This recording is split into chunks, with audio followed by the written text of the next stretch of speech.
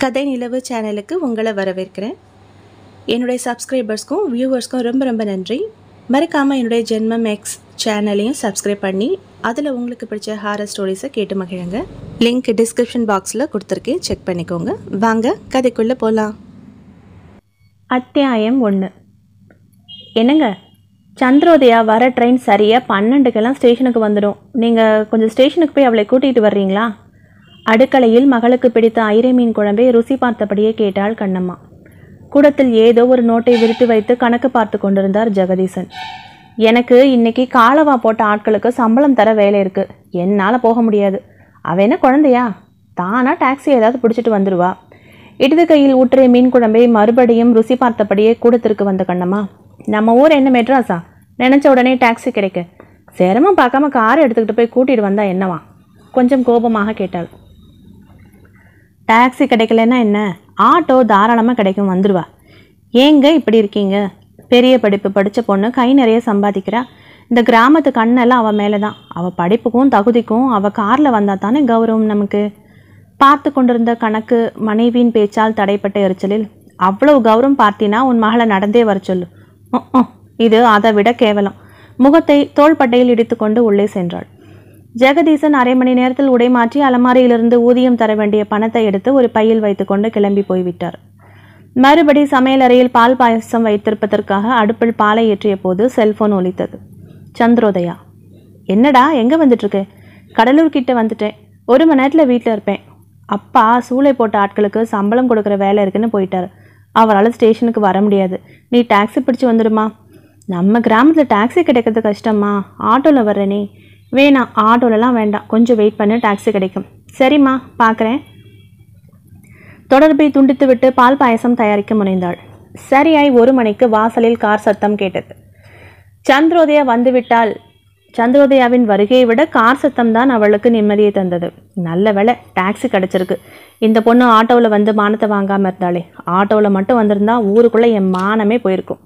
நினைத்தபடியே வேகமாக வாசலுக்கு வந்தாள். வாசலுக்கு வந்தவளுக்கு வயிற்றில் புளியை கரைத்தது. காரணம் சகாதேவனின் காரிலிருந்து இறங்கிக் கொண்டிருந்தாள் சந்திரோதயா. கரு கருவென முகம் கருத்தது இவளுக்கு. தேங்க்யூ மாமா. ஓகே அத்தை எப்படி இருக்கீங்க? ம் ம். முகம் இறுக்கமானது கண்ணம்மாவுக்கு. அவன் வண்டியை திருப்பி கொண்டு சென்றான். உள்ளே வந்த மகளை எதிர்கொண்டு அழைக்க இதுவரை இருந்த மலர்ச்சி இல்லாமல் உள்ளே வந்தாள். பேக்கை போட்டுவிட்டு அம்மா என்னை மகள் ஆசையாய் கட்டிக்கொண்ட போது கூட அவளுக்குள் இருந்த எரிச்சல் அவளை தனியாக பாதித்து கொண்டே இருந்தது. வாவ் மீன் குழம்பு வாசனை மூக்கு தொலைக்குதே. பசி வயிற்று சாப்பாடு போடுமா? போய் குளிச்சுட்டு வா. சாப்பிடலாம். ஆசை ஆசையாக சாப்பிடும் மகளை பார்த்து கேட்டாள். சகாதேவனோட காரில் எப்படி வந்த? டாக்ஸிக்காக வெயிட் பண்ணிட்டு இருந்தேன். சகாதேவன் மாமாவோட காரை ஸ்டேஷன் வாசலில் பார்த்தேன்னா ஏதோ வேலையாக வந்திருப்பார் போல. வந்துட்டேன். ம். மீன் துண்டங்களை கை பரிமாறினாலும் மனம் உள்ளுக்குள் கேள்விகளை உருவாக்கி கொண்டிருந்தது. இவளே அவனை ஃபோன் செஞ்சு வரவழைச்சிருப்பாளோ? இவள் வருவதை கேள்விப்பட்டு அவனே ஏதோ வேலையாக வருவதைப் போல் வந்து இவளை பிக்கப் செய்திருப்பானோ? அத்தியாயம் ரெண்டு. இரவு கணவர் ஜெகதீஷன் வர நேரமாகிவிட்டது. சாப்பிட உட்கார்ந்தவர் சந்திரோதயா எப்படி வந்தா? டாக்ஸி கிடைச்சதா? காரில் தான் வந்தா ஆனால் வாடகை கார் இல்லை. பின்ன? சகாதேவனோட காரில் வந்தா. நல்லதாக போச்சு. என்ன நல்லதா போச்சு? எனக்கு என்னமோ சந்தேகமாக இருக்குது என்ன சந்தேகம்? இவளே அவனுக்கு ஃபோன் செஞ்சு ஸ்டேஷனுக்கு வர சொல்லியிருப்பாளோ? ஏன் அப்படி நினைக்கிற? போன தடவை ஊருக்கு வந்தப்போ கூட சகாதேவனோட பைக்கில் வந்து இறங்கினா கேட்டதுக்கு ஏதோ வேலையாக அவன் ஸ்டேஷனுக்கு வந்ததாகவும் அவனை பார்த்ததும் அவனோட வண்டியிலே வந்ததாகவும் சொன்னான் இப்போவும் அதே சொல்கிறான் இருக்கலாம். என்ன இருக்கலாம்? இவளே அவனை ஸ்டேஷனுக்கு வர சொல்லியிருக்கணும். இல்லாட்டி அவள் வர போகிறது தெரிஞ்சு இவனே போய் ஸ்டேஷனில் நின்று இருக்கணும் எதுக்கு இப்படி செய்யணும்? எதுக்கு செய்யணுமா? இவளே ஃபோன் செஞ்சு அவனை வரவழைச்சிருந்தாலோ இல்லை இவனே இவ வருது தெரிஞ்சு வந்திருந்தாலும் ரெண்டு பேருக்கும் இடையில ஏதோ இருக்கணும்னு எனக்கு தோணுது. உன் பொண்ணு அவனை விரும்புகிறான்னு நீ நினைக்கிறியா? மீன் முள் வாயில் சிக்கி விடாமல் பக்குவமாக சாப்பிட்டபடியே கேட்டார் ஜெகதீஷன் சந்தேகமாக தான் இருக்குது அப்படி இருந்தால் நல்லது தானே சொந்தக்கார பையன். நமக்கும் மாப்பிள்ளை பார்க்குற வேலை மிச்சமே. என்ன உளறீங்க? அவன் என்ன நம்ம பொண்ணுக்கு ஏற்றவனா ஏன் அவனுக்கு என்ன? என் பொண்ணு ஐடி கம்பெனியில் சென்னையில் கை நிறைய சம்பாதிக்கிறா. மாடனாக இருக்கா? இவன் வயலையும் வாய்க்காலையும் கட்டிக்கிட்டு பொழுதுக்கும் சேத்துலையும் சகதியிலையும் கிடக்கிறவன். அவனும் தான் சம்பாதிக்கிறான். சொந்த நிலபலம் போதாதுக்கு ஊரில் பாதி பேரோட குத்தகை நிலம் எல்லாத்தையும் அவன் தானே நிர்வாகம் பண்ணுறான் பணம் இருந்தாலும் படிப்பு இல்லையே. ஏன் அவனும் டிகிரி ஹோல்டர் தாம்மா? ஆமாம் பெரிய டிகிரி ஹோல்டர் பேருக்கு பின்னாடி ஒரு பட்டம் வேணும்னு போஸ்டரில் படித்தான் அதுவும் ஆயிரத்தெட்டு அரியர்ஸ் இருக்கட்டுமே ஆயிரம் வித்தியாசம் இருந்தாலும் பொண்ணுக்கு பிடிச்சா என்னம்மா செய்ய முடியும்? கட்டி கொடுத்து தான் ஆகணும். நல்லா இருக்கே கதை. அப்படியெல்லாம் கனவுல கூட நினைக்காதீங்க. எங்கள் ஊர் பாட்டுக்காரன் ராமராசன் மாதிரி வயலையும் மாட்டையும் கட்டிக்கிட்டு அழுவுற அவனையெல்லாம் என்னால் மாப்பிள்ளையை எடுத்துக்க முடியாது. இந்த வீட்டுக்கு வர்ற மாப்பிள்ளை நிறைய படித்தவனா பெரிய கம்பெனியில் வேலை பார்க்குறவனா டிப்டாப்பாக இருக்கிறவனா இருக்கணும். அப்போ ஒன்று பண்ணு. நாளைக்கே அவகிட்ட இதை பற்றி பேசு. என்னன்னு நீ அவனை காதலிக்கிறியான்னு நேரடியாக கேட்க சொல்கிறீங்களா அப்படியெல்லாம் ஒன்றும் வேண்டாம்.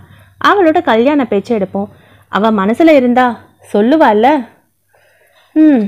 பெருமூச்சு விட்டாள் கண்ணம்மா. அத்தியாயம் மூன்று. மறுநாள் சந்திரோதயாவின் மூலமாகவே கல்யாண பேச்சு ஆரம்பிக்கப்பட்டது. அம்மா போன வாரம் தேன்மொழியை பொண்ணு பார்த்துட்டு போனாங்களா? அப்படியா? காய் நறுக்கி அப்படியே கேட்டாள் அம்மா. ஆமாம் மாப்பிள்ளை மயிலாடுதுறையா. என்ன வேலை பார்க்குறாரா? அவளை மாதிரி கவர்மெண்ட் ஸ்கூல் வாத்தியாரா? நல்ல பொருத்தம். உன் ஃப்ரெண்ட்ஸுங்க எல்லாருக்கும் கல்யாணம் ஆகிட்டு வருது. தேன்மொழியும் நீயும் தான் பாக்கி. இப்போ அவளுக்கும் வரன் வந்துடுச்சு. உனக்கும் இந்த வருஷமே கல்யாணத்தை முடிச்சிடணும்னு அப்பா நினைக்கிறார். தாராளமாக பண்ணுங்க. நானா வேணான்னு சொன்னேன். தன் அறையிலிருந்து சிரித்தபடியே வெளியே வந்தார் ஜெகதீசன். அப்போ நாங்கள் தான் ஸ்டெப் எடுக்காமல் இருக்கோம்னு சொல்கிறியாம்மா என்றார். பின்ன? என்றாள். அடி பாவி ஒரு பொண்ணு இப்படியா பேசுவா? கண்ணம்மா கன்னத்தில் கை தாங்கினாள். பாத்தியா நாம தான் லேட் பண்ணிட்டோங்கிறா. அப்பா என்னோட வயசு இருபத்தஞ்சு. அருகே வந்த ஜெகதீசன் அவள் அருகே ஊஞ்சலில் அமர்ந்து தன் உள்ளங்கையில் அவள் உள்ளங்கை எடுத்து வைத்து கொண்டார். சரி லேட்டானதுக்கு மன்னிப்பு கேட்டுக்கிறேன். சொல்லு எப்படிப்பட்ட மாப்பிள்ளை வேணும் உனக்கு? என்ன மாதிரியே பெரிய கம்பெனியில் வேலை பார்க்கணும்? எல்லா விஷயத்திலும் எனக்கு சமமாக இருக்கணும். அப்பா என உள்ளுக்குள் பெருமூச்சு விட்டால் கண்ணம்மா. எங்கே சகாதேவனைத்தான் கட்டிப்பேன் என சொல்லாமல் போனாளே. கணவனை கண்களாலேயே நிம்மதியுடன் பார்த்தாள். அப்புறம் முக்கியமான ஒன்று மாப்பிள்ளை அமெரிக்காவில் வேலை பார்க்கணும். கல்யாணத்துக்கு பிறகு நான் அமெரிக்கா போய் செட்டில் ஆவேன். இதை கேட்டு அதிர்ந்தாள் கண்ணம்மா. என்னடி? அமெரிக்கா போய் செட்டில் ஆக ஏண்டி கடைசி காலத்தில் எங்களை பார்த்துக்க ஆம்பளை பிள்ளையா இருக்கா? நீ எங்களை விட்டுட்டு வெளிநாடு போய் செட்டில் ஆயிட்டா? எங்களை யார் பார்த்துப்பா? உங்களை ஆம்பளை பிள்ளை பெற்றுக்க வேணான்னு யாருமா சொன்னா? நான் சொன்னேன்னா உங்களுக்கு ரொமான்ஸ் பண்ண போர் அடிச்சிருச்சுன்னா அதுக்கு நான் என்ன பண்ண முடியும்? சி பாருங்க எப்படி விவசாயம் இல்லாமல் பேசுகிறா சிவந்த முகத்தை கை கொண்டு மறைத்து கொண்டாள் கண்ணம்மா. ஆமாம் உன்னை பெத்தெடுக்கவே உங்கள் அம்மா ஊரையே ஆட்டி வச்சுட்டா. அத்தனை ட்ராமா தினம் ஒரு வழி பத்து மாதமும் பத்து பிரச்சனையை சொல்லுவா. அழுத்து கொண்டார் அப்பா. அப்பா நீங்கள் தான் தப்பு பண்ணிட்டீங்க. கடைக்குட்டி சிங்கம் படத்தில் சத்யராஜ் ஆண் குழந்தைய பெத்தே தீரணும்னு ரெண்டாம் கல்யாணம் மூணாம் கல்யாணம் பண்ண மாதிரி பண்ணியிருக்கணும். சரியாக சொன்னேன் இப்போ மட்டும் என்ன? ஊருக்குள்ளே எத்தனை பொம்பளைங்க நான் தெருவில் நடந்தால் ஓரக்கண்ணால் பார்க்குதுங்க தெரியுமா? அப்பா மீசையை முறுக்க. அடைச்சி விவசாய கெட்டதுங்க. என எழுந்து உள்ளே போன கண்ணம்மாவின் முதுகு தண்டு அதிர இருவரும் விழுந்து விழுந்து சிரித்தனர். அத்தியாயம் நான்கு. மேட்ரிமோனியல் பார்த்து அமெரிக்க வாழ் இந்திய மாப்பிள்ளையாக தேடினர். அருமையான மாப்பிள்ளைகள் கிடைத்தனர். அவர்களில் அழகு தகுதி அந்தஸ்து என அலசி ஆராய்ந்து சிறந்தவரனை தேடி பிடித்தனர். கார்த்திக். சந்திரோதயாவிற்கு முற்றிலும் பொருத்தமானவன். புகைப்படம் சந்திரோதயாவிற்கு அனுப்பினர். ஹேய் மாப்பிள்ளை சூப்பர். சும்மா ஹீரோ மாதிரி இருக்கான். மொபைலில் சந்திரோதயா காட்டிய கார்த்திக்கின் புகைப்படத்தை பார்த்து விசிலடித்தாள் மோனிகா. உனக்கு பர்ஃபெக்ட் மேட்சிங் டி. சிவகாமி சந்திரோதயாவின் கன்னத்தை கிள்ளினாள். ஆனாலும் என் பார்த்திபனை கம்பேர் பண்ணுறப்போ கொஞ்சம் அழகு கம்மி தான் மோனிகா பெருமையாக தோள்களை குலுக்கி கொண்டாள். அப்போ கல்யாணம் கூடிய சீக்கிரம் சொல்லு. ம் நீயும் கல்யாணம் பண்ணிக்கிட்டு அமெரிக்கா போயிடுவ. மோனிகாவும் பார்த்திபனை கல்யாணம் பண்ணிட்டு ஃப்யூச்சரில் அமெரிக்காவில் போய் செட்டில் ஆகிற ஐடியாவில் இருக்கா? நான் தான் இங்கே தனியாக இருக்க போகிறேன் சிவகாமியின் முகத்தில் கவலை. உன்னை யார் இந்தியாவில் இருக்க சொன்னது? நீயும் அமெரிக்கா போக முயற்சி பண்ணு. சிவகாமி சோர்வாக இருக்கையில் சாய்ந்தாள். எங்கே போகிறது ஆஃபீஸில் உனக்கு எத்தனை பேர் லைன் போடுறாங்க? நீ தான் அலட்சியமாக இருக்க. உனக்கு ஆண்களை கண்டாலே பிடிக்காதுன்னு ஒருத்தனும் உங்ககிட்ட நெருங்க மாட்டேங்கிறான். அதெல்லாம் சும்மா ஒரு வேலிக்காகத்தான். எல்லார்கிட்டையும் ஃப்ரீயாக பேசினா எங்கே காதலில் தடுமாறி விழுந்துடுவேணும்னு ஒரு பயம்தான். அப்போது காதல் கல்யாணம் இல்லாமல் கடைசி வரைக்கும் வாழ போறியாடி? வேறு வழி? எனக்கு கீழே இருக்கிற ரெண்டு தங்கச்சிகளையும் படிக்க வச்சு கரையேற்றணும் அப்பா பக்கவாதம் வந்து படுத்துட்டாரு. அவரையும் அம்மாவையும் விட்டுட்டு நான் கல்யாணம் பண்ணிக்கணும்னு நினச்சி கூட பார்க்க முடியாது. அதுலேயும் அப்பா அம்மாவை விட்டுட்டு அமெரிக்காலாம் சான்ஸே இல்லை. சிவகாமி மிகவும் சோர்வாக சொன்ன அதே நிமிடம் ஹாஸ்டல் வாசலில் பைக் ஹாரன் சத்தம் கேட்டது. சிவகாமியின் சோர்வை மறந்து சந்திரோதயா குறும்பாக சிரித்தாள். உன்னோட ஹீரோ வந்துட்டார்னு நினைக்கிறேன். மோனிகா ஜன்னல் வழியை எட்டி பார்த்தாள். கீழே பார்த்திபன் பைக்கில் ஸ்டைலாக அமர்ந்து கண்ணாடி பார்த்து தலை சீவி கொண்டிருந்தான் மோனிகா ரசித்து சிரித்தாள். சிலீர் என தென்றல் தழுவியதைப் போல் உற்சாகமானாள். நான் கிளம்புறேன்ப்பா என்றபடி ஹேண்ட்பேக்கை எடுத்து தோளில் மாட்டிக்கொண்டு ஓடினாள். சந்திரோதயாவும் சிவகாமியும் சிரித்து கொண்டனர். ரெண்டு நாட்கள் கழித்து அப்பா ஃபோன் செய்தார். அம்மாடி மாப்பிள்ளை வீட்டில் இந்த வாரம் பெண் பார்க்க வரதா சொல்கிறாங்க உன்னால் வீட்டுக்கு வந்துட்டு போக முடியுமா? இல்லைப்பா என்னால் இந்த வாரம் வர முடியாது. கம்பெனியில் நிறைய வேலை இருக்குது எனக்கு லீவ் கிடைக்கும்போது சொல்கிறேன் அப்பா அவங்கள வர சொல்லுங்கள் நல்லா இருக்கே நாம் பொண்ணு வீட்டுக்காரங்க. இருக்கட்டுமே. அதுக்காக அவங்க காலை வேணும்னு அவசியம் இல்லை. எனக்கு லீவ் கிடைக்கிறப்போ சொல்கிறேன் அவங்கள வர சொல்லுங்கள் ஆனால் அடுத்த ரெண்டு நாட்கள் கழித்து திடீரென ஃபோன் செய்தால் சந்திரோதயா. அம்மா நான் ஊருக்கு வந்துட்ருக்கேன் ட்ரெயினில் உட்காந்துருக்கேன் என்னடி இது? திடீர்னு வர்றேங்கிற? லீவு கிடச்சிதா? இல்லைம்மா லீவு போட்டுட்டு வர்றேன். ஏன் திடீர்னு லீவு போட்ட? சும்மாதான் வீட்டில் இருக்கணும்னு தோணுச்சு. அதற்கு மேல் பேசாமல் தொடர்பை துண்டித்து விட்டாள். அம்மா குழப்பமாக பார்த்தாள். என்னாச்சு இவளுக்கு? பேச்சே ஒரு மாதிரியாக இருக்குது லீவே இல்லைங்கிறவ லீவு போட்டுட்டு எதுக்காக வர்றா? உடம்புக்கு முடியலையா? வீட்டிற்கு வந்த பிறகு அவளுடைய முகம் படிக்க முயன்றாள். பழைய கலகலப்பு பறிக்கப்பட்டதைப் போல உணர்ந்தாள். ஏம்மா திடீர்னு லீவு போட்டுட்டு வந்திருக்கே? உடம்புக்கு ஏதாவது பிரச்சனையா? ஆமாம் ஒரு வாரமாக ஒரே தலைவலி. டாக்டர்கிட்ட போயிருக்கலாமே. போனே ரெஸ்ட் எடுத்தா போதும்னு சொன்னார். அதான் வந்துட்டேன். அயற்சியாய் உட்கார்ந்தவளின் பேக் எடுத்து பழைய துணிகளை எடுத்து துவைக்க போட்டபடியே கேட்டாள். எத்தனை நாள் லீவ் போட்டிருக்க? நிரந்தரமா. அதிர்ந்து போய் மகளை பார்த்தாள் அம்மா. மகள் இறுக்கமாக கண்களை மூடியிருந்தாள் அத்தியாயம் ஐந்து. சந்திரோதயா என்னம்மா சொல்கிற நிரந்தரமானா அழுக்கு துணியை உதறிவிட்டு அருகே வந்து அமர்ந்தாள். கண்களை படக்கென திறந்தாள் சந்திரோதயா. நிரந்தரமானா நான் வேலையை விட்டுட்டேன். இன்னும் அதிர்ச்சியாக உணர்ந்தால் பெற்றவள். ஏன்? பிடிக்கல. பிடிக்கலையா? ஏன் கம்பெனியில் ஏதாவது பிரச்சனையா? ஜிஎம் ஏதாவது திட்டினாரா? அதெல்லாம் ஒன்றும் இல்லை ஒர்க்லோடு அதிகமாக இருக்கிற மாதிரி இருக்குது கம்ப்யூட்டர் முன்னாடி உட்கார முடியல. தலைவலி வருது. மாத்திரை போட்டாலும் நிற்க மாட்டேங்குது. ரெஸ்ட் எடுக்க டாக்டர் அட்வைஸ் பண்ணார். ரெஸ்ட் எடுத்து பார்க்கலான்னு வந்துட்டேன். சரி கொஞ்ச நாள் ரெஸ்ட் எடு அப்புறம் ஏதாவது வேலை தேடிக்கலாம். மகளை சமாதானப்படுத்தினாலும் அவளுடைய மனம் சமாதானம் ஆகவில்லை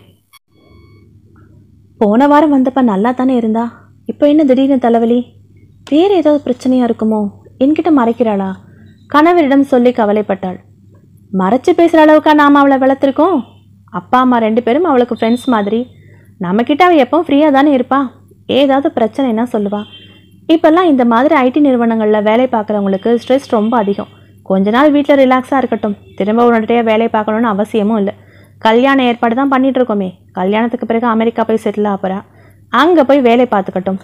ஜெகதீசன் மனைவியை சமாதானப்படுத்தினார். ஆனால் மறுநாள் அவளுடைய குழப்பம் அதிகமானது. பொழுது விடுந்து எழ மனமில்லாமல் கண்ணம்மா படுக்கையில் புரண்டு கொண்டிருந்த போது நாசியை வருடைய அந்த வாசனையில் எழுந்து உட்கார்ந்தாள். ஊதுபத்தி வாசனை. இத்தனை அதிகாலையில் விடிய கூட இல்லை. வீட்டுக்குள் ஊதுபத்தி வாசனை. சட்டென எழுந்தாள். பூஜை அறைக்கு வந்தாள். அங்கே சந்திரோதயா தியானத்தில் அமர்ந்திருந்தாள். எதிரே சாமி படத்தின் எதிரே விளக்கு எரிந்து கொண்டிருந்தது. ஊதுபத்தி புகைந்து கொண்டிருந்தது. கண்மூடி சிலையாய் அமர்ந்திருந்த மகளின் கோலமும் திகைப்பை ஏற்படுத்தியது. விரித்து போட்டிருந்த கூந்தலின் நுனியிலிருந்து தரையில் தண்ணீர் கொட்டி கொண்டிருந்தது. தலை குளித்திருக்கிறாள். எத்தனை மணிக்கு எழுந்து குளித்திருப்பாள்? இத்தனை அதிகாலையில் வாழ்க்கையில் ஒரு நாள் கூட அவள் குளித்ததில்லை. என்றைக்காவது அவள் வீட்டில் இருக்கும்போது கண்ணம்மா ஏதாவது கைவேலையாக இருந்தால் விளக்கேற்ற சொல்வாள். போம்மா உனக்கு வர வேலை இல்லை என்று பதிலோடு ஓடிவிடுவாள். பொண்ணா பிறந்தவ பொழுது போனா வாசல் தெளிச்சு கோலம் போட்டு விளக்கேத்தி சாமி கும்பிட பழகணும்டி. உன் அறிவுரையெல்லாம் எனக்கு தேவையில்லை. என்னை என் வேலையை செய்ய விடு. என கடுப்படுத்தி விட்டு தன் வேலையை பார்ப்பாள். அப்படிப்பட்டவள் இத்தனை அதிகாலையில் தியானம் எல்லாம் செய்கிறாள். சில சமயம் நல்ல மாற்றங்கள் கூட பயத்தை தரும். கடவுளை வழிபடுவதும் தியானம் செய்வதும் நல்ல மாற்றங்கள் தான். ஆனால் ஏனோ அவை இப்போது பயத்தை உண்டாக்கியது. மகள் சாப்பிட வந்தாள். என்னம்மா தியானம்லாம் செய்கிற அதுவும் விடியறதுக்கு முன்னாடியே குளிச்சுட்டு தியானம் பண்ணினா தலைவலி குறையும்னு டாக்டர் சொன்னார். அதான். ஆனாலும் உறுத்தல் நிற்காமல் கணவனிடம் கூறினாள் எல்லாத்தையும் போட்டு குழப்பிப்பியா நீ? டாக்டர் சொன்னதால தியானம் பண்ணுறா நல்லது தானே இது வரைக்கும் தான் விளையாட்டுத்தனமா ஏட்டிக்கு போட்டு ஏதாவது பேசிட்டு இருப்பா. கல்யாண ஏற்பாடு பண்ணினாலே பொண்ணுங்க கிட்ட இப்படிப்பட்ட மாற்றங்கள் உண்டாருது சகஜம்தான். திருந்தினாலும் விட மாட்டீங்க. திமிர் பேச்சு பேசுகிறவ திருந்துறது தான் ஆச்சரியமா இருக்கு. அன்று மாலை தெருவில் ஒரு வீட்டில் பிறந்த குழந்தைக்கு பெயர் சூட்டு விழா. கூடமாட உதவி செய்வதற்காக மதியமே கிளம்பி போய்விட்டாள் கண்ணம்மா. விழா முடிந்து இருட்டும் நேரத்துக்கு வீட்டுக்கு வந்தபோது சந்திரோதயா இல்லை. உள்ளூரில் தன்னுடன் படித்த பெண்ணை சந்திக்கப் போயிருப்பாள் என்று நினைத்தவாறே பிறந்தநாள் விழா வீட்டில் கொடுத்த வெற்றிலை பாக்கு பூப்பழத்தை பூஜை அறையில் வைத்துவிட்டு வெளியே வந்தபோது படியேறி உள்ளே வந்து கொண்டிருந்த சந்திரோதயாவை பார்த்து இரண்டாவது முறையாக திகைத்தாள். சந்திரோதயா மிக அழகாக தழைய தழைய புடவை கட்டி தாராளமாக பூச்சூடி கையில் பூஜை கூடையுடன் தோற்றமளித்தாள். சந்திரோதயாவா? புடவை இல்லையா? வருட பிறப்பு பொங்கல் தினங்களில் கண்ணம்மா எத்தனை கெஞ்சி இருப்பாள். இன்னைக்கு ஒரு நாளாவது பொன்னால் அச்சனமா புடவை கட்டி பூ வச்சுட்டு கொஞ்சமாவது கலாச்சாரத்தோட இரண்டி. கேட்டிருப்பாளா? கொஞ்சமாவது கேட்டிருப்பாளா? அம்மா இந்த கலாச்சாரம் பண்பட இதெல்லாம் நீயே வச்சுக்கோ. என்ன விட்டுரு எழுதிருந்து பேசிவிட்டு போய்விடுவாள். அப்படிப்பட்டவளா? அடக்க ஒடுக்கமாக. ஆச்சரியம். என்னடி கோயிலுக்கெல்லாம் போயிட்டு வர்ற? அதுவும் புடவையில் ஏன்? போகக்கூடாதா? என்று அலட்சியமாக கேட்டுவிட்டு உள்ளே சென்றாள் சந்திரோதயா. என்னமோ நடந்திருக்கு. இவளுக்கு இல்லாட்டா இந்த மாற்றங்கள் எல்லாம் நினைச்சு பார்க்க முடியாத ஒன்று கணவனிடம் சொன்னாள். என்னங்க என்னமோ நடந்திருக்கு? திடீர்னு வேலையை விட்டுட்டு வந்திருக்கா? தியானம் கோயில்னு போறா? எனக்கு என்னமோ பயமா இருக்குங்க. என்னடி பயம்? அன்னைக்கு வந்த ஒரு நியூஸ் தெரியுமா? நல்லா படித்து நல்ல வேலை பார்த்த ரெண்டு பொண்ணுங்க திடீர்னு ஆசிரமத்தில் போய் சேர்ந்து சன்னியாசி ஆயிட்டுங்க. அதுங்களை பெற்றவங்க ரொம்ப மனவேதனைப்பட்டு அழுததுக்கு இது எங்கள் சுதந்திரம்? இதுதான் உண்மையான வாழ்க்கை அப்படி இப்படின்னு சொல்லுதுங்க. இவளையும் அது மாதிரி யாராவது பிரெயின் வாஷ் பண்ணிட்டாங்களோன்னு பயமாக இருக்குது தினமும் தியானம் கோயில்னு போகிறா முன்னாடியெல்லாம் ஏதாவது இங்கிலீஷ் பாட்டை போட்டுக்கிட்டு கிறுக்கு பிடிச்ச மாதிரி ட்ராயரும் டைட்டாக பனியனும் போட்டுக்கிட்டு தலையை விரித்து போட்டுட்டு டான்ஸ் ஆடுறவ. இப்போவெல்லாம் சுகி சிவத்தோட சொற்பொழிவை கேட்குறா. ஜக்கி வாசுதேவோட தத்துவங்களை கேட்குறா சாமியார் யாருக்காவது சிஷ்யை ஆயிடுவாளோன்னு பயமாக இருக்குங்க. இதை கேட்டு பெரிதாக சிரித்தார் ஜெகதீசன். இதானே உன் பிரச்சனை. நாளைக்கு அவளோட கல்யாண விஷயத்தை எடுப்போம். இப்போ வீட்டில் தானே இருக்கா? பெண் பார்க்க கார்த்திக் குடும்பத்தை வர சொல்லுவோம். உன் சந்தேகம் தீர்ந்துடும். பெருமூச்சு விட்டாள். ஆனால் ஏனோ இரவெல்லாம் உறக்கம் வரவில்லை. உறங்கும் கணவனை உலக எதிரியாக பார்த்தாள். கொஞ்சம் கூட கவலை இல்லாமல் இந்த மனுஷனால எப்படி தான் தூங்க முடியுதோ? எழுந்து இங்கும் அங்கும் நடந்தாள். ஏதோ கவிதை எழுத யோசிப்பவளைப் போல. மணி பன்னிரண்டு சந்திரோதயா உறங்குகிறாளா இல்லை தியானம் ஈனம் செய்கிறாளா? அவளுடைய அறையை நோக்கி நடந்தாள். ஜன்னல் வழியாக பார்த்தாள். சந்திரோதயா படுத்தபடியே மொபைலில் சாட் செய்து கொண்டிருந்தாள். டைப் செய்தபடி என்ன பேசுகிறாள்? யாருடன் பேசுகிறாள்? என்று தெரிந்தால் அவளுடைய இந்த மாற்றத்திற்கான காரணம் தெரியும். மகள் உறங்கும் வரை இவள் ஊஞ்சலில் உட்கார்ந்திருந்தாள். அவள் உறங்குவதை உறுதி செய்த பின் அவளுடைய செல்போனை எடுத்துக்கொண்டு வெளியே வந்தாள். இப்படி மற்றவரின் செல்போனை ஆராய்வது தவறு மனசாட்சி உறுத்தியது. இப்படி நினைத்து பல பெற்றோர்கள் ஆராயாமல் விடுவதால் தான் நிறைய தவறுகள் நடக்கின்றன. தனக்கு தானே சமாதானம் செய்து கொண்டு யாருடன் பேசியிருக்கிறாள் என பார்த்தாள். சிவகாமியுடன் பேசியிருக்கிறாள். டைப் செய்திருந்த வார்த்தைகளை நிதானமாக படிக்க படிக்க கொஞ்சம் கொஞ்சமாக படபடப்பு கூடி இறுதியில் நெஞ்சை அடைப்பதைப் போல் இருந்தது. அத்தியாயம் ஆறு. ஹாய் எப்படி இருக்க? ம் நல்லா இருக்கேன். வேலையை விட்டுட்டது வீட்டில் சொன்னியா? சொன்னேன். பெருசாக எடுத்துக்கல. நீ தப்பு பண்ணிட்ட. வேலையை விட்டுருக்க கூடாது. விடு வேலை பார்க்க பிடிக்கல. மோனிகா எப்படி இருக்கா? அவ வேற கம்பெனிக்கு போயிட்டா. ஆனால் ரொம்ப வருத்தப்படுறா. அழறா. ம். பார்த்திபன் இப்பெல்லாம் அவளை பார்க்க வர்றதில்ல. அதனால் பாவம் மனசுடைஞ்சு அழறா. நான் அவன்கிட்ட பேசி பார்க்கலாம்னு நினைக்கிறேன். ம். நீயும் வேறு வேலைக்கு முயற்சி பண்ணிட்டு இருக்கியா இல்லை. ஏன்? உன் திறமைக்கு இதை விட பெரிய கம்பெனியில் வேலை கிடைக்கும். நான் உங்களை மாதிரி கோழை இல்லை. நீ ஒரு பயந்தாங்கொல்லி. வேலையை விட்டுட்டு ஊரை பார்க்க ஓடிட்ட. அவள் ஒரு பயந்தாங்கொல்லி வேற ஒரு கம்பெனிக்கு தாவிட்டா. ஆனால் நான் உங்களை மாதிரி இல்லை. சிவகாமி நாம் என்ன தான் பெண்ணுரிமை பேசினாலும் சுதந்திரம் பேசினாலும் பாதிப்புன்னு வர்றப்போ பயந்து தான் போவோம். மற்றவங்க பார்வையும் பேச்சும் நம்ம கொன்னுடும். எத்தனை நாளைக்கு அப்படி பார்ப்பாங்க எத்தனை நாளைக்கு பேசுவாங்க? அப்புறம் தானாக எல்லாம் சரியாக போயிடும். நீ என்ன முடிவு பண்ணியிருக்க வேற வேலைக்கு ட்ரை பண்ணு. சீக்கிரமாக சென்னைக்கு வா. இல்லை எனக்கு வேலை பார்க்க இஷ்டம் இல்லை கல்யாணம் பண்ணிக்க போகிறேன் கல்யாணம் என் மனசுக்கு அமைதியை கொடுக்கும்னு நம்புகிறேன் ஓகே வாழ்த்துக்கள். தேங்க்யூ குட் பை எனக்கு தூக்கம் வருது. குட் நைட் கலவரமாக செல்லை அணைத்தாள். திரும்ப கொண்டு வந்து வைக்க தோன்றாமல் அப்படியே உட்கார்ந்திருந்தாள். இவள் வேலையை விட்டு வீட்டிற்கு வந்திருக்கிறாள். மோனிகா வேலையை விட்டு விட்டு வேறொரு கம்பெனிக்கு போயிருக்கிறாள். நான் உங்களை மாதிரி பயந்தாங்கொள்ளி இல்லை இங்கேயே வேலை செய்வேங்கிறா சிவகாமி. என்ன நடந்தது? மோனிகா அழுது கொண்டிருக்கிறாள். இவள் தியானத்தில் ஆழ்ந்து போகிறாள். திருமணம் அமைதியை தரும் என நம்புகிறாள். இவையெல்லாம் என்ன? எதிலிருந்து தப்பித்துக்கொள்ள என்ன நடந்தது ஆஃபீஸில் எம்டி இவர்களை வேலையை விட்டு நீக்கினாரா? இல்லை இவர்களை வேலையை விட்டு விட்டார்களா? கம்பெனி வேலையை விட்டு எடுத்திருக்கிறது என்றால் இவர்கள் என்ன தப்பு செய்தார்கள்? இவர்களே வேலையை விட்டு விலகி இருக்கிறார்கள் என்றால் அங்கே இவர்களுக்கு என்ன நடந்தது? உயர் அதிகாரிகளால் ஏதாவது பாலியல் தொந்தரவு ஏற்பட்டதா? அம்மாவிடம் சொல்றதுல என்ன பிரச்சனை? எதுக்காக என்கிட்ட எதையுமே ஷேர் பண்ணிக்க மாட்டேங்கிறா? கேட்டு பார்க்கலாமா? அம்மாவா இருந்தாலும் அத்து மீறியது தவறுன்னு அவள் ஆத்திரப்பட்டா? கணவனிடம் சொன்னபோது விட்டுடு சொல்றதா இருந்தால் அவளே சொல்லியிருப்பா. அம்மா அப்பாங்கிறதுக்காக எல்லாத்தையும் நாம் தெரிஞ்சுக்கணும்னு அவசியம் இல்லை அவளோட பிரச்சனைகளை அவளே சமாளிக்கணும். முடியாத பட்சத்தில் அவளே நம்ம உதவியை கேட்டு வருவா. எப்படியோ அவ நீ சந்தேகப்பட்ட மாதிரி ஆசிரமம் சாமியார் சிஷ்யன்னு போகலைல்ல? கல்யாணம் பண்ணிக்க போகிறதா தானே சொன்னா? கவலை விடு. கார்த்திக் குடும்பத்தை இந்த வாரம் வர சொல்லுவோம். கல்யாண ஏற்பாட்டை கவனிப்போம். கணவரின் பேச்சு ஆறுதலாக இருந்தது. அவளும் அதற்கு மேல் மனதை போட்டு குழப்பிக் கொள்ளவில்லை. தோட்டத்து மலர்களை கொய்து கொண்டு வந்து கூடத்தில் கொட்டி மாலை தொடுத்து கொண்டிருந்தாள் சந்திரோதயா. இடையிடையே துளசியை சேர்த்து கட்டியதால் கதம்ப மாலை களை கட்டியிருந்தது அழகுடன். அம்மாடி என்றபடி பக்கத்தில் இருக்கு இழுத்து போட்டுக்கொண்டு அமர்ந்தார் ஜெகதீசன்.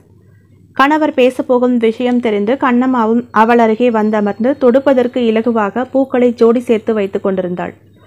என்னப்பா ரொம்ப மாறிட்ட கண்ணினி அதுவும் திடீர் மாற்றம். எப்பவும் மொபைல்லே இருப்ப. இப்போ என்னடான்னா கோயில் தெய்வம் தியானம் மாலை. இப்படியெல்லாம் மாறிட்டியே. உண்மைதான்ப்பா.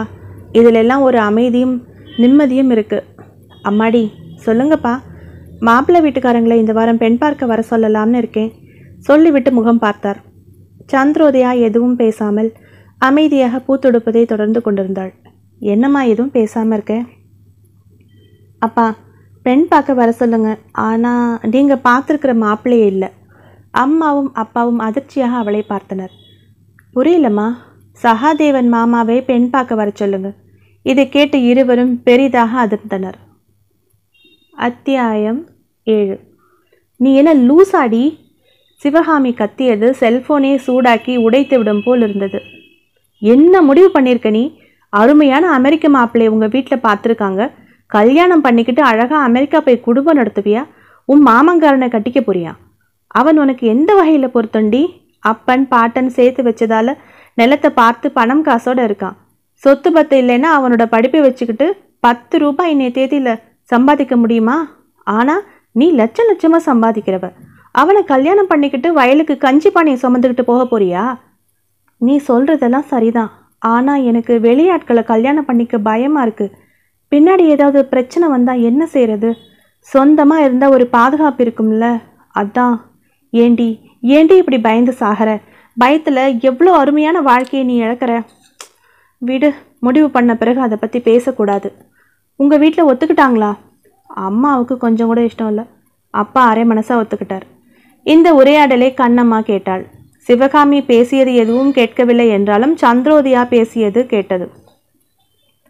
வெளியாட்களை திருமணம் செஞ்சு கொள்ள பயமாக இருக்குது சொந்தத்தில் கல்யாணம் பண்ணினா பின்னாடி ஏதாவது பிரச்சனை வந்தால் ஒரு பாதுகாப்பு இருக்கும் என்று மகள் சொன்னது மனதை அரித்தது. வெளியாட்களை திருமணம் செய்து கொள்ள என்ன பயம்? அந்த பயத்தினால தான் அமெரிக்க மாப்பிள்ளையை வேண்டாம் என்றாளா? சொந்தமாக இருந்தால் பாதுகாப்பு கிடைக்கும்.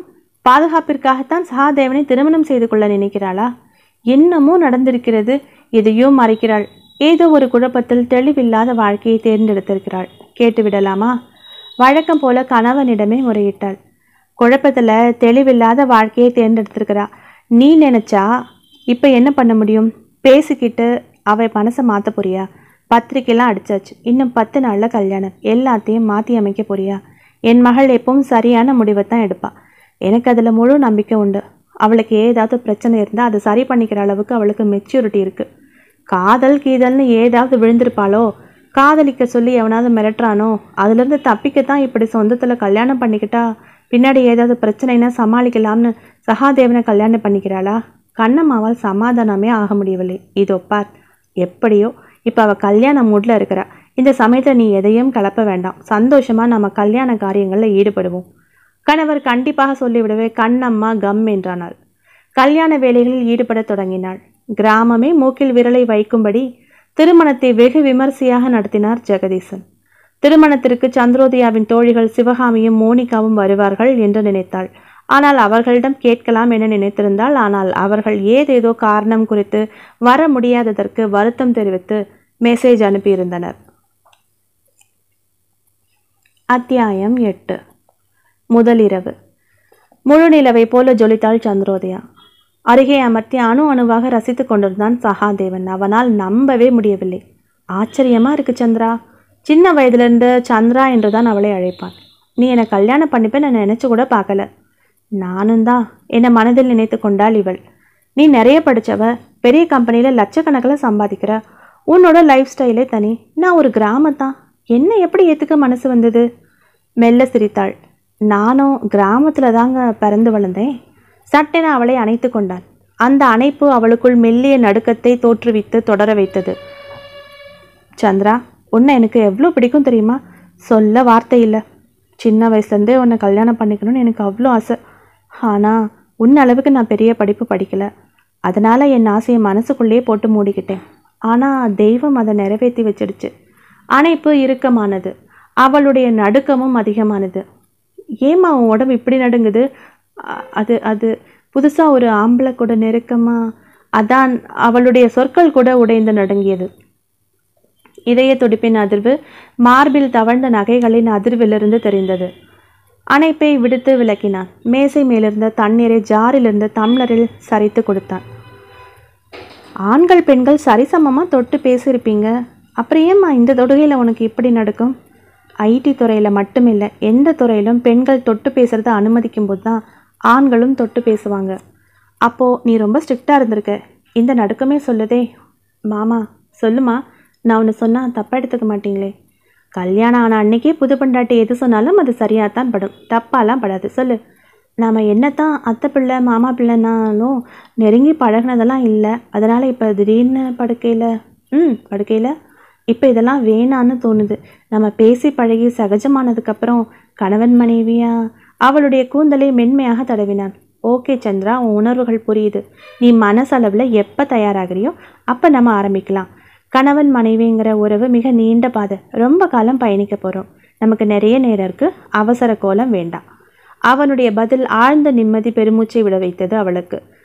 சரியாய் ஒரு மாதம் கழிந்தது. இந்த ஒரு மாதத்தில் இருவரும் நன்றாக பழகியிருந்தனர் மறு மாதம் அதே கல்யாண நாளின் இரவு. மறுபடியும் அவளை ஆசையுடன் அவன் நெருங்க அணைக்க முத்தமிட அவளுக்கு கை காலை வெட்டி வெட்டி இழுக்கத் தொடங்கியது. வாயில் நுரை தள்ளியது. அப்படியே வேறற்ற மரம் போல் கீழே விழுந்தாள். பயந்து அலறினான் சகாதேவன். அத்தியாயம் ஒன்பது. கண்களை மூடி உறங்கிக் கொண்டிருந்த சந்திரோதயாவின் அருகே கவலை படர்ந்த முகத்துடன் கண்ணம்மாவும் ஜெகதீசனும் சகாதேவனும் அமர்ந்திருந்தனர். டாக்டர் அழைப்பதாக சொல்லவும் போனான் சகாதேவன். உட்காருங்க மிஸ்டர் சகாதேவன். சின்ன வயசுல இந்த மாதிரி உங்கள் மனைவிக்கு ஃபிட்ஸ் வந்திருக்கான்னு கேட்டதுக்கு அவளோட பெற்றோர் இல்லைங்கிறாங்க. இதான் முதல் தடவைன்னு சொல்கிறாங்க எந்த மாதிரியான சூழ்நிலையில் எப்படி வந்ததுன்னு சொல்லுங்கள் அது வந்து சற்றே தயங்கிவிட்டு அன்றைய இரவை பற்றி சொன்னான். அப்படின்னா இந்த ஒரு மாதத்தில் இதுதான் முதல் தடவை. அவ இந்த விஷயத்தில் ரொம்ப தயக்கம் காட்டினா அதனால் நல்லா பழகி ரெண்டு பேருக்கும் இடையில நல்ல புரிதல் வந்த பிறகு பார்த்துக்கலாம்னு அமைதியாக இருந்துட்டேன். இன்னைக்கு இப்படி ஆயிடுச்சு. நான் இதை எதிர்பார்க்கல. இந்த ஃபிட்ஸ் நோய் எல்லாருக்கும் ஒரே மாதிரி இருக்கிறதில்ல. சில பேருக்கு பிறவியிலேருந்தே சின்ன வயசுலேருந்தே இருக்கலாம். அந்த மாதிரியானவங்களுக்கு எப்போ வேணால் வரும். தொடர்ந்து மருந்து மாத்திரை சாப்பிடணும். சில பேருக்கு திடீர்னு எதிர்பாராத அதிர்ச்சி ஏற்படுறப்போ இப்படி ஏற்படும். ஆனால் இது நிரந்தரம் இல்லை. திரும்ப வரும்னு பயப்பட வேணாம். உங்கள் மனைவிக்கு மனசுக்குள்ள தாம்பத்தியத்தை பற்றின பயம் இருக்குது அதனால தான் இப்படி ஏற்பட்டிருக்கு. நல்ல மனநல மருத்துவர் ஒருத்தர்கிட்ட கூட்டிகிட்டு போய் கவுன்சிலிங் கொடுத்தா சரியாயிடும். தாம்பத்திய உறவுக்கு அவங்க மனசளவில் தயாரானா எல்லாம் சரியாக போயிடும். நீங்கள் கணவராக இல்லாமல் தாய் மாதிரி பழகினாலே எல்லாம் சரியாயிடும். சரி டாக்டர். என்று அவருடைய கையை பற்றி குலுக்கிவிட்டு கவலையுடன் வெளியே வந்தான் சகாதேவன். அத்தியாயம் பத்து. என்னது? முகத்தில் ஏதோ மாற்றம் தெரிகிற மாதிரி இருக்கு? சாப்பிட வந்து அமர்ந்த சகாதேவனின் முகத்தை உற்று பார்த்தாள் சந்திரோதயா. ம் கண்டுபிடியே. அவனே இட்லியை எடுத்து தட்டில் வைத்து கொண்டான். கடவுளே எதுக்கு மீசை எடுத்து வச்சிருக்கீங்க? சை பார்க்கவே சகிக்கலை. நீ பயப்படுறேன்னு தான் என்னது? மீசையை பார்த்து பயப்படுறேனா? அம்மா தான் சொன்னாங்க இப்படி சண்டியர் மாதிரி மீசையை முறுக்கிக்கிட்டு காது வர கிருதா வச்சுட்டு இருந்தா படித்து பா மாடனாக இருக்கிற பொண்ணுக்கு எப்படிரா பிடிக்கும்? அதான் ராத்திரியில் உன்னை பார்த்து பயப்படுறா அப்படின்னு சொன்னாங்க. அதான் மீசையை மழைச்சிட்டேன் இப்போ எப்படி ஹிந்தி நடிகர் மாதிரி இருக்கேனா? ஸ்டைலாக சிரித்தான். கன்றாவி எனக்கு இந்த மீசை இல்லாத ஆம்பளைங்களே பிடிக்காது. அதிலும் உங்கள் முறுக்கு மீசை தனி அழகு உங்களுக்கு. தட்டை விட்டு எழுந்து அவள் அருகே வந்தான். இரு கைகளாலும் அவளுடைய முகத்தை தாங்கினான். ஒரு வாரத்தில் மறுபடியும் மீசையை வளர்த்துக்கிறேன். அப்போ மீசையால் பயப்படவே இல்லையா நீ? இல்லை. பின்ன ஏன் ஃபிட்ஸ் வர அளவுக்கு உனக்கு அந்த விஷயத்தில் பயம் இருக்கு? நான் எப்படியெல்லாம் பயந்துட்டேன் தெரியுமா? அவள் எதுவும் பேசவில்லை. எனக்கு ரொம்ப பயமாக இருக்கு. என்ன பயம்? நீங்கள் ஆசைப்படுற மாதிரி என்னால் நடந்துக்க முடியலையே. நீங்கள் எவ்வளோ ஆசையை மனசில் வச்சிட்ருக்கீங்க அவன் சிரித்தான். ஆளை பாரு. கிணத்து தண்ணியை வெள்ளமாக கொண்டு போகுது. பொண்ணுங்க அதுவும் இந்த காலத்து பொண்ணுங்க இந்த விஷயத்தில் நிறைய விஷய ஞானத்தோடு இருக்காங்க. நீ என்னடான்னா நூறு வருஷத்துக்கு முந்தைய காலத்தில் பிறந்தவ மாதிரி இப்படி பயப்படுற? நீ நிறைய படித்து ஆண்களுக்கு சரிசமமான வேலை பார்த்தாலும் சரியான கிராமத்து பொண்ணாக தான் இருக்கே. இங்கே பார் டாக்டர் உன்னை ஒரு நல்ல மனநல மருத்துவர்கிட்ட கவுன்சிலிங் போக சொல்லியிருக்கார். ஒரு டாக்டரோட அட்ரஸும் கொடுத்துருக்கார். அந்த டாக்டர் சென்னையில் இருக்கார். நம்ம அடுத்த வாரம் போவோம். சரியா? ம் சாப்பிடுங்க. அவனை அமர்த்தி சாப்பிட வைத்த அதே நிமிடம் அம்மா வந்தாள். சந்திரோதயா என்னத்த? கொரியரில் உன் பேருக்கு ஒரு பத்திரிக்கை வந்திருக்குமா? கல்யாண பத்திரிக்கை மாதிரி இருக்கு. வாங்கி பார்த்த சந்திரோதயா முகம் மலர்ந்தாள். யார் அனுப்பியிருக்கா? என் ஃப்ரெண்ட் சிவகாமி. அவளுக்கு கல்யாணமா? அவளுக்கு இல்லை அவளோட தங்கைக்கு. தங்கைக்கா? ஏன் அவள் கல்யாணம் பண்ணிக்கலையா? அவளோட ஃபேமிலி அப்படி. அப்பா பக்கவாத நோயால் படுத்துட்டார். அவளோட சம்பாத்தியத்தில் தான் குடும்பம் ஓடுது. ரெண்டு தங்கைகள் ஒரு தம்பி எல்லாரையும் கரை சேர்க்க வேண்டிய பொறுப்பு அவள் தலையில். அவள் ஒரு தொடர்கதை சுஜாதா மாதிரியான கேரக்டர் அவள் வாழ்க்கையில் கல்யாணத்துக்கெல்லாம் இடம் இல்லைன்னு அவளே சொல்லிப்பா. தப்பு. அவளுக்கு இன்னும் ஒரு வாழ்க்கை வேணும். அவளை புரிஞ்சுக்கிட்டவன் நிச்சயம் அவளுக்கு கிடைப்பான் ஆஹா மகான் ஆசிர்வதிச்சிட்டாரு அப்படியே நடக்கட்டும். நாம இந்த கல்யாணத்துக்கு போவோம். சகாதேவன் இப்படி சொன்னதும் சந்திரோதயாவின் முகம் சட்டென மாறியது. ஆஹா இல்லை இல்லை வேண்டாம். நாம போக வேண்டாம். ஏன்? வந்து அவ ஒன்றும் நம்ம கல்யாணத்துக்கு வரலையே. அப்புறம் நாம் எதுக்கு போகணும்? அவன் சிரித்தான். ஏய் இது என்ன பேச்சு? ஸ்கூல் குழந்தைகள் மாதிரி உண்மையான ஃப்ரெண்ட்ஷிப்புக்கு இதுதான் அடையாளமா? நம்ம கல்யாணத்துக்கு அவள் வரலைன்னா ஏதாவது முக்கிய காரணம் இருக்கலாம். அதுக்காக நாம் போகாமல் இருந்தால் எப்படி? நீ தானே சொன்ன அவளுக்கு பொறுப்புகள் அதிகம்னு. அவளால் மறுத்து பேச முடியவில்லை. எப்படி நமக்கு சென்னை போக வேண்டிய வேலை இருக்குது கவுன்சிலிங் இருக்குது டாக்டரை பார்க்கணும். ரெண்டு வேலையும் ஒன்றா முடிச்சிடலாம். அவள் அமைதியாக இருந்தாள். ஆனால் மனம் மட்டும் மெல்ல மெல்ல குழப்பத்தில் விழத் தொடங்கியது. அடுத்த சில நாட்களில் அவர்கள் சென்னை பயணப்பட்டனர். ஒரு நல்ல ஹோட்டலில் ரூம் எடுத்து தங்கினர். மனநல மருத்துவரை சந்திக்க அப்பாயின்மெண்ட் வாங்கியிருந்தான். மறுநாள் திருமணம். முதல் நாள் டாக்டரை சந்தித்துவிட்டு மறுநாள் திருமணத்தில் கலந்து கொண்டு விட்டு ஊருக்கு திரும்புவதாக திட்டமிட்டிருந்தான் சகாதேவன். சந்திரா பத்து மணிக்கெல்லாம் டாக்டரை பார்க்க அப்பாயின்மெண்ட் சீக்கிரம் கிளம்பு. நான் குளிச்சுட்டு வர்றதுக்குள்ள நீ ரெடியாக இருக்கணும் சொல்லிவிட்டு குளியல் அறைக்குள் நுழைந்தான். குளித்து முடித்துவிட்டு டவல் கொண்டு வர மறந்தது ஞாபகம் வர மெல்ல கதவை திறந்து குரல் கொடுத்தான். சந்திரா டவல் கொண்டாமா? காத்திருந்தான். சில நிமிடங்கள் கிடக்க மீண்டும் குரல் கொடுத்தான். சந்திரா டவல் கொண்டா? பதில் இல்லை. என்ன செய்றா மீண்டும் மீண்டும் குரல் கொடுக்க பதில் இல்லை. தொலைக்காட்சியின் சத்தம் கேட்டுக்கொண்டிருந்தது டிவி பார்த்து கொண்டிருக்கிறாளா? மேக்கப்பில் ஆழ்ந்து விட்டாளா? ச்சே இந்த பெண்கள் மேக்கப் செய்கிறதிலும் டிவி பார்க்கறதுலையும் ஆழ்ந்துட்டா கட்டுன புருஷன் இருக்கிறத கூட மறந்துடுவாங்க. யோசித்து எரிச்சல் பட்டபடியே கலட்டி போட்ட கைலியை எடுத்து கட்டிக்கொண்டு வெளியே வந்தான். தூக்கி வாரி போட அதிர்ந்தான். படுக்கையில் சந்திரோதயா கையையும் காலையும் வெட்டி வெட்டி இழுத்துக்கொண்டு தலை ஒரு பக்கமாய் சாய்ந்து கொண்டு வாயில் நுரை தள்ள கிடந்தாள். சந்திரா! பெரிதாக அலறினான். அத்தியாயம் பதினொன்று இரவு முழுதும் உறங்காமல் அவள் அருகே உட்கார்ந்திருந்தான் சகாதேவன். முகம் முழுதும் கவலையும் பயமும். நேற்று லாட்ஜில் அறையில் படுக்கையில் அவளை அப்படி கண்டதும் இரண்டாவது முறையாக ஆடி போய்விட்டான் சகாதேவன். உடனடியாக பக்கத்தில் இருந்த மருத்துவமனையில் சேர்த்தான். உடனடியாக பக்கத்தில் இருந்த மருத்துவமனையில் சேர்த்தான். டாக்டர் கொடுத்த சிகிச்சையில் வலிப்பு நின்று விட்டது இரவு முழுவதும் மருத்துவமனையில் இருக்கும்படியும் மறுநாள் போகலாம் என்றும் கூறியிருந்தார் டாக்டர். இரவு முழுவதும் உறக்கமின்றி அவள் அருகிலேயே உட்கார்ந்திருந்தான். தாம்பத்திய உறவு பற்றிய பயத்தால் தான் அவளுக்கு ஃபிட்ஸ் வருகிறது. மனநல மருத்துவரிடம் கவுன்சிலிங் கொடுத்தால் சரியாகிவிடும் என டாக்டர் சொன்னது பொய்யானது. இப்பொழுது அவன் அவளை தொடக்கூட இல்லையே. அவன் குளிப்பதற்கு சென்றபோது அவள் நன்றாகத்தானே இருந்தாள். சூட்கேஸிலிருந்து புடவை எடுத்துக்கொண்டு ஒப்பனை செய்து கொள்ள கண்ணாடியின் எதிரே சென்றாளே. திடீரென எப்படி இது? காலையில் கண் விழித்த சந்திரோதயா சோர்வாக இருந்தாள். டாக்டர் வந்து பரிசோதித்தார். கொடுக்க வேண்டிய மருந்து மாத்திரைகளை நர்ஸிடம் விளக்கிவிட்டு அவனை அறைக்கு வரும்படி சொல்லிவிட்டு சென்றார். அறைக்கு வந்தவனை அமர்த்தி அவளை பற்றி விசாரித்தார். இதற்கு முன் அவளுக்கு பிட்ஸ் வந்த தருணத்தையும் பரிசோதித்த டாக்டர் சொன்ன காரணத்தையும் சொன்னான். மனநல மருத்துவரிடம் கவுன்சிலிங்கிற்காக வந்ததையும் சொன்னான். சில நிமிஷங்கள் கண்களை மூடி தியானம் செய்வதைப் போல் அமர்ந்திருந்த டாக்டர் கண்களை திறந்து ஏதோ செய்தி கிடைத்ததைப் போல சொன்னார். அந்த டாக்டர் சொன்ன காரணம் சரியா இருந்தா இப்போ அது மாதிரி எதுவுமே நடக்காதப்போ எப்படி ஃபிக்ஸ் வர முடியும்?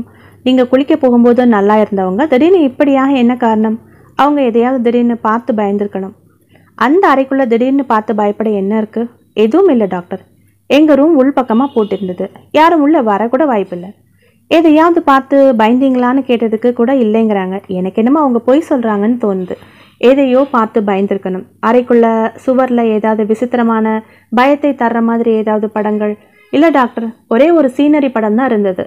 ஏதாவது பயமுறுத்துற மாதிரி சவுண்ட் ஏதாவது கேட்டு இப்படி ஆகியிருக்கலாம். டிவி சவுண்டை தவிர வேறு எதுவும் இல்லை.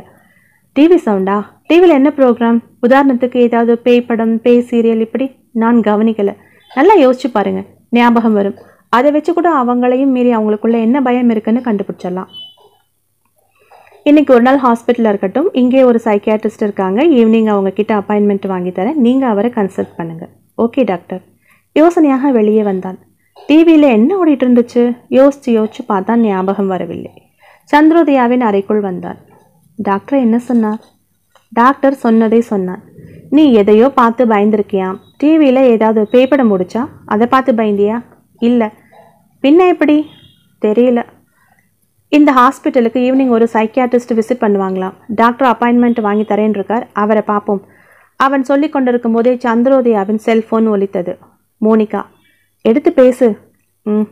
கல்யாணத்துக்கு வரலையான்னு கேட்பா. சொன்னபடி பேசிவிட்டு வைத்தான் சொன்னேன்ல சென்னைக்கு வந்தும் கல்யாணத்துக்கு ஏன் வரலன்னு திட்டுறா. உடம்புக்கு முடியலன்னு சொன்னேன். உங்களையாவது அனுப்பி வைக்க சொல்றா. இல்லாட்டி சிவகாமி ரொம்ப கோச்சுப்பான்னு சொன்னான் வாஸ்தவன் தான்.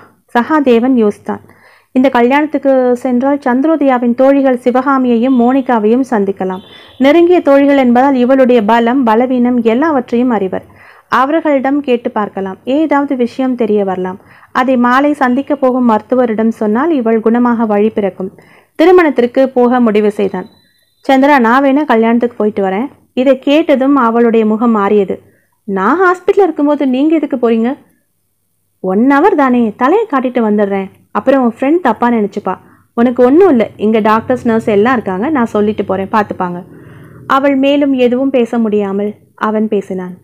திருமணத்திற்கு கிளம்பினான்.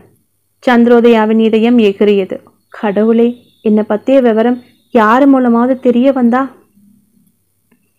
கல்யாண மண்டபத்தில் அவன் நுழைந்தபோது பன்னீர் தெளித்து வரவேற்ற அந்த பெண் அளவுக்கு அதிகமான ஒப்பனையில் தனக்கு யாருமே அழகில் ஒப்பாக இருக்கக்கூடாது என்ற முயற்சியில் ஈடுபட்டு வெற்றியும் பெற்றுவிட்டாள் என்று தோன்றியது. ஹலோ நீங்க சந்திரோதா சந்திரோதயாவோட ஹஸ்பண்ட் தானே? என்று உற்சாகமாக கூவினாள். எஸ் எஸ் சட்டென கை நீட்டி கைப்பற்றி குலுக்கினாள். நான் மோனிகா சந்திரோதயாவோட ஃப்ரெண்ட் ஓ ஃபோட்டோவில் பார்த்ததான் ஞாபகம். நேரில் ரொம்ப வித்தியாசமாக இருக்கீங்க. மேரேஜ் இல்லையா? ஸ்பெஷல் மேக்கப் அதான் கண்டுபிடிக்க முடியல. சொல்லிவிட்டு சில்லறை இறைத்த சிரிப்பை சிதறவிட்டாள். பின் சொன்னாள் சந்திரோதயா எப்படி இருக்கா? பரவாயில்ல. இப்போ நல்லா இருக்கா? ஏன் என்னாச்சு அவளுக்கு? திடீர்னு ஃபீவர் பெருசாக ஒன்றும் இல்லை. டயர்டாக இருக்கா? ஃபிட்ஸ் ப்ராப்ளத்தை சொல்லவில்லை அவன். சரி இப்போ எங்கள் ரூமில் இருக்காளா? இல்லை ஹாஸ்பிட்டலில் தான். அவளை தனியாக விட்டுட்டு வந்தீங்களா? ஒன் ஹவர் தானே. ஒன்றும் ஆகாது. நிமிஷத்துக்கு ஒரு தடவை நர்ஸ் விசிட் பண்ணிகிட்டே இருப்பாங்க.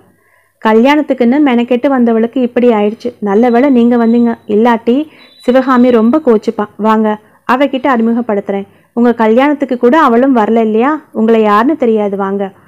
ரிசப்ஷனில் வேறொரு பெண்ணை அமர்த்தி விட்டு அவனை அழைத்து கொண்டு வந்து ஒரு இருக்கையில் அமர வைத்துவிட்டு சென்ற சிவகாமியை அழைத்து வந்தாள். சிவகாமியை கல்யாண பெண்ணை போல் அலங்கரித்து கொண்டிருந்தாள். அவளை பார்த்ததுமே சந்திரோதயா சொன்னதுதான் மனதில் ஓடியது. பாவம் அவள் வாழ்க்கையில் கல்யாணத்தை எல்லாம் கூட பார்க்க முடியாது. உடம்பு முழுதும் பட்டுப்புடவையுடன் சேர்த்து பரபரப்பையும் அணிந்து கொண்டிருந்தாள் சிவகாமி. அவனை அவசர அவசரமாக விசாரித்துவிட்டு சந்திரோதயாவின் உடல்நிலையை பற்றி ஒரு சில நிமிடங்கள் கவலைப்பட்டுவிட்டு தன் பொறுப்புகளும் கடமைகளும் உந்தி தள்ள ஓடிவிட்டாள். சகாதேவன் அமைதியாக உட்கார்ந்திருந்தான். அவனுக்கு இப்போதைக்கு அறிமுகமான மோனிகாவையும் சிவகாமியும் தவிர அங்கு யாரையும் தெரியாது. சிவகாமி மேடையில் பிஸியாக இருந்தாள். மோனிகா வரவேற்பதில் பிஸியாக இருந்தாள். இருவருமே பிஸியாக இருக்கிறார்கள். இந்த நேரத்தில் இவர்களிடம் சந்திரோதியாவை பற்றி என்ன கேட்க முடியும்? சிவகாமியிடம் கேட்க முடியாவிட்டாலும் பரவாயில்லை. மோனிகாவை எப்படியாவது தனியாக அழைத்து சென்று விசாரிக்க வேண்டும். மோனிகா எப்பொழுது ரிசப்ஷனிலிருந்து விலகி தனியாக வருவாள் என அவளையே பார்த்து கொண்டிருந்தான். அவன் பார்த்து கொண்டிருக்கும் பொழுதே அந்த இளைஞன் மண்டபத்தினுள் நுழைந்தான். இதுவரை இல்லாத உற்சாகம் மோனிகாவின் முகத்திலும் உடம்பிலும் பரவுவதை இங்கிருந்தே சகாதேவனால் பார்க்க முடிந்தது. பன்னீர் தெளிக்க உயர்த்திய தன் கையை தெளிக்காமலேயே தாழ்த்தி கொண்டே மோனிகா சட்டென்று பூ சந்தனம் கல்கண்டு வைக்கப்பட்டிருந்த மேஜை சுற்றி அவன் எதிரே வந்தாள். ஏதோ அவனிடம் பேசுவது புரிந்தது. அவன் அவள் பேசுவதை கொஞ்சம் கூட கேட்காமல் முகத்தை வேறு பக்கம் திருப்பிக் கொண்டு நடந்தான். ஆனால் அவள் பின்னாலேயே ஓடினாள். ஓரிடத்தில் அவன் முன் வந்து நின்று அவனுடைய நடையை நிறுத்தினாள். ஏதேதோ பேசினாள். பேசும் துணியும் அவள் உடல் பாவனையும் வித்தியாசமாக இருந்தது. இதுவரை ரிசப்ஷனில் ஒரு ராணியை போன்ற மிடுக்குடனும் கம்பீரத்துடனும் தன் அழகிலும் அலங்காரத்திலும் சற்றே கர்வமுடன் வரவேற்றுக் கொண்டிருந்த அவளா இவள் என நினைக்கும் அளவிற்கு நடந்து கொண்டிருப்பதாக தோன்றியது அவனுக்கு. அவள் கூனி குருவி கெஞ்சுவதாகவும் அழுவதாகவும் தெரிந்தது. தான் அழுவதை யாரும் பார்த்துவிடக் கூடாதவாறு மறைப்பதும் அதே சமயம் எதற்காகவோ போராடுவதாகவோ தோன்றியது. அவன் கை நீட்டி எதையோ பலவந்தமாக மறுத்து பேசிவிட்டு விறுவிறுவென அவளை விட்டு அகன்று வந்தான். அவனுடைய முகத்திலும் மிகவும் டென்ஷனும் கோபமும் தெரிந்தது. நேராக வந்தான். உட்கார இடம் தேடியவன் சகாதேவன் பக்கத்தில் இருந்த இருக்கையில் அமர்ந்தான். பெரிதாக மூச்சு வாங்கினான். தன்னை ஆசுவாசப்படுத்திக் கொள்வதைப் போல் கண்களை இறுக மூடிக்கொண்டான். மேடையில் ஐயர் அக்னியில் நெய் ஊற்றி ஹோமம் வளர்த்து கொண்டிருந்தார். பக்கத்தில் கண்மூடி அமர்ந்திருந்தவனையே பார்த்து கொண்டிருந்தான் சகாதேவன். மோனிகாவிற்கும் இவனுக்கும் என்ன தொடர்பு? அவள் இவனிடம் ஏன் அத்தனை கெஞ்சுகிறாள்? இவன் ஏன் அவளை அத்தனை அலட்சியமாக நடத்துகிறான்? மோனிகாவிடம் சந்திரோதயாவை பற்றி கேட்கலாம் என நினைத்திருக்க மோனிகாவோ அதற்கு மேல் இருக்கிறாள். இந்த நிலையில் அவளிடம் என்ன கேட்க முடியும்? சகாதேவன் குழம்பிய அதே நிமிஷம் மேடையில் பரபரப்பாக இங்கும் அங்கும் உலாவிக் கொண்டிருந்த சிவகாமி சட்டென கீழே இறங்கி ஓடி வந்தாள். கையில் இருந்த மொபைலில் ஏதோ பேசியபடியே வந்தவள் தன் அருகே அமர்ந்து கண்களை மூடியிருந்தவனின் அருகே வருவதை பார்த்தான் சகாதேவன். பார்த்திபன் அமைதியான குரலில் ஆனால் அழுத்தமாகவும் ஆவேசமாகவும் ஆத்திரமாகவும் அழைத்தாள். அழைப்பின் அதிர்வில் படக்கென கண்களை திறந்தான் அந்த பார்த்திபன். குரலை தாழ்த்து கொண்டு கிசுகிசுப்பான குரலில் கோபமாக பேசினாள் சிவகாமி. பார்த்திபன் இது உனக்கே நல்லா இருக்கா? நீ பண்றது கொஞ்சம் கூட சரியில்லை. நான் என்ன பண்ணேன் இந்த கல்யாணத்துக்கு மோனிகா வந்ததே உனக்காகத்தான். நீ கல்யாணத்துக்கு வருவ உன் கூட பேசணும்னு தான் அவள் அவ்வளோ ஆசையா இருந்தா. நீ என்னடான்னு அவ கூட முகம் கொடுத்து கூட பேசாம அலட்சியப்படுத்தியிருக்க. கல்யாண வேலை உனக்கு இல்லையா? அதை விட்டுட்டு அனாவசியமா என்கிட்ட பேசிட்டு இருக்க. மேடையில் ஐயர் என்னவோ கேட்குறாரு பார். போ அதை எடுத்துக்கொடு எனக்கு என் ஃப்ரெண்டோட மனசும் முக்கியம். அவள் எவ்வளோ டென்ஷனாக இருந்தா கல்யாணத்துக்கு கூட அட்டன் பண்ணாமல் மண்டபத்தை விட்டே போயிருப்பா. சகாதேவனுக்கு திக்கென்றிருந்து மோனிகா மண்டபத்தை விட்டு போய்விட்டாளா அட கடவுளே இப்போது நான் எப்படி சந்திரோதயாவை பற்றி அவளிடம் விசாரிப்பது? அவன் கவலைப்பட சிவகாமி பேசி கொண்டிருந்தாள். என்கிட்ட நேரில் கூட சொல்லலை. அவள் பாட்டுக்கு போயிட்டு ரொம்ப டென்ஷனாக இருக்கேன் நான் மண்டபத்தை விட்டு போகிறேன்னு ஃபோனில் சொல்லிட்டு போயிட்டா. இங்கே எனக்கு எவ்வளோ உறுதியாக இருந்தால் தெரியுமா? எல்லாம் உன்னால தான் அவள் தேவையில்லாமல் நடந்துக்கிட்டா அதுக்கு நான் என்ன பண்ண முடியும்? பார்த்திபனும் பல்லை கடித்தான். என்ன தேவையில்லாமல் நடந்துக்கிட்டா சும்மா இருந்தவளை சுற்றி சுற்றி வந்து காதலிச்சிட்டு இப்போ அவகிட்ட இருந்து விலகி போனா அவள் என்ன பாடுபடுவா? அவள் என்ன தப்பு பண்ணா? ம் இது பாரு. தப்பு யார் பண்ணா என்ன? அந்த தப்பில் அவள் சம்மந்தப்பட்டிருக்கால்ல பார்த்திபன் நீ பேசுறது தப்பு துரோகம். இதை பார். எப்படி வேணா இருக்கட்டும். என் மனசுக்கு பிடிக்கலைன்னா பிடிக்கலே தான் சகாதேவனுக்கு ஓரளவு விஷயம் புரிந்தது. மோனிகா இந்த பார்த்திபனை காதலிக்கிறாள். இருவருக்கும் இடையில் ஏதோ பிரச்சனை. இவன் விலகி போகிறான். அவள் தொடர்ந்து போகிறாள். சிவகாமி கல்யாண டென்ஷனிலும் சமாதானம் செய்ய முனைகிறாள்.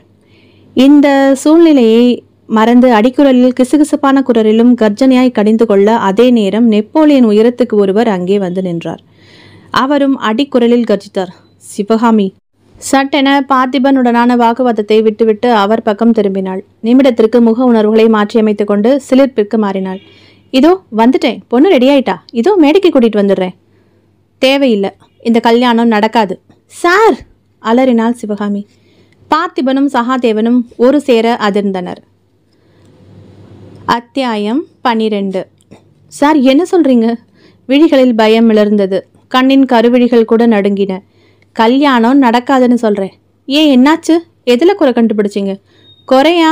குடும்பமே குறைதான் சார் எங்களுக்கு உண்மையெல்லாம் இப்போ தான் தெரிய வந்தது. குலமகள் பெண்கள் விடுதியில் தங்கியிருந்த பெண்களில் நீங்களும் ஒருத்தர் தானே சிவகாமியின் முகம் நிமிடத்தில் நெருப்பு பிழம்பாய் மாறியது. சொல்லுங்க அங்கே தானே தங்கியிருந்தீங்க? ஆமாம் அதுக்கு என்ன? அதுக்கு என்னவா? அங்கே என்ன நடந்ததுன்னு உலகத்துக்கே தெரியுமே. அந்த விடுதியை நடத்தினவன் அங்கே பெட்ரூம் பாத்ரூம் டாய்லெட் எல்லா இடத்துலையும் ரகசிய கேமரா பொருத்தி படம் எடுத்திருக்கான். அவன் எடுத்த குளியலறை வீடியோ காட்சிகளில் நீங்களும் அடக்கம் தானே கேட்டுக்கொண்டிருந்த சகாதேவன் தூக்கி வாரி போட அதிர்ந்தான். குளியல் அறையிலிருந்து அவன் டவல் கேட்டபோது கேட்டு கேட்டு பார்த்து பதில் இல்லாமல் வெளியே வந்தபோது டிவியில் ஓடிக்கொண்டிருந்த அந்த அந்த செய்தி இப்பொழுது நினைவில் வந்து எதிரொலித்தது. பெண்கள் விடுதியில் ரகசிய கேமரா பொருத்தப்பட்டு பெண்களை வீடியோ எடுத்த விடுதியின் சொந்தக்காரர் கைது செய்யப்பட்ட வழக்கு இன்று. நீதிபதி முன்னிலைக்கு கொண்டு வரப்பட்டது வழக்கை விசாரித்த நீதிபதி குற்றவாளிக்கு பத்து வருட கடுங்காவல் தண்டனை அளித்து தீர்ப்பு வழங்கினார். திடீரென பொறி தட்டியது சகாதேவனுக்கு. இந்த செய்திதான் சந்திரோதயாவிற்கு ஃபிட்ஸ் வர காரணமோ? தொலைக்காட்சியில் அந்த விடுதியின் ஓனரை பார்த்ததுமே இப்படியாகி இருக்குமோ? அப்படியானால் அவளுடைய மன பாதிப்பு காரணம்? அவர் என்னை தொடவிடாமல் ஒதுக்கியதற்கு காரணம்? தொட்டால் நடுக்கமும் ஃபிட்ஸும் வர காரணம் இதுதானா? அவளும் அந்த விடுதியில் இருந்திருக்கிறாள். தன்னுடைய குளியலறை காட்சிகளும் ரகசிய கேமராவில் பதிவாகி இருக்கும். அவற்றையெல்லாம் இந்த கேடு கட்டவன் பார்த்திருப்பான். எத்தனை பேர்களுக்கு அந்த காட்சிகளை விருந்தாக்கி இருக்கிறானோ என்றெல்லாம் நினைத்து கொண்டிருந்த பயத்தால் தான் அவளால் தாம்பத்திய உறவில் ஈடுபட முடியவில்லையோ? அவனுடைய சிந்தனை தொடர்ந்து கொண்டே இருக்க சிவகாமியின் கெஞ்சலும் கோபமும் சீற்றமும் சூழ்நிலைக்கு கொண்டு வந்தது. சார் இங்க பாருங்க. நடந்தது உண்மைதான். ஆனா நான் இதுக்கு எப்படி பொறுப்பாக முடியும்? அந்த அசிங்கம் பிடிச்சவன் இப்படி டெக்னிக்கா கேமரா பொருத்திருப்பான் யாராவது யோசிக்க முடியுமா? அவனை போலீஸில் ஒப்படைச்சு தண்டனையும் வாங்கி தந்தாச்சு. இதில் பாதிக்கப்பட்ட என்ன மாதிரி பொண்ணுங்களோட மனநிலை எப்படி இருக்குன்னு இறக்கத்தோட கொஞ்சம் யோசிச்சு பாருங்க. அப்படியே பார்த்தாலும் மானம் போனவன் நான். என் தங்கச்சி என்ன பாவம் பண்ணா? இப்படி கல்யாணத்தை நிறுத்துறது சரியில்லை. இந்தா பாருமா நீ சொல்கிறது எதையும் எங்களால் ஏற்றுக்க முடியாது. இந்த கல்யாணம் நடக்காது. மாப்பிள்ளையின் அப்பா கராராக சொல்ல சிவகாமி பார்த்திபனின் பக்கம் திரும்பினாள். பார்த்திபன் பார்த்துட்டே நிற்கிறியே என் கூட ஒன்றா படிச்சு என் கூட வேலை பார்க்குற. இந்த நேரத்தில் கூட எனக்காக பேச மாட்டியா? மாப்பிள்ளை கிட்ட பேசுடா. அவன் இந்த காலத்து பையன் புரிஞ்சுப்பான்டா. எனக்காக பேசுடா ப்ளீஸ் எனக்குன்னு பேச வீட்டில் ஆம்பளைன்னு யாருமே இல்லைடா. பேசுடா. பார்த்திபனிடம் கெஞ்சினாள்.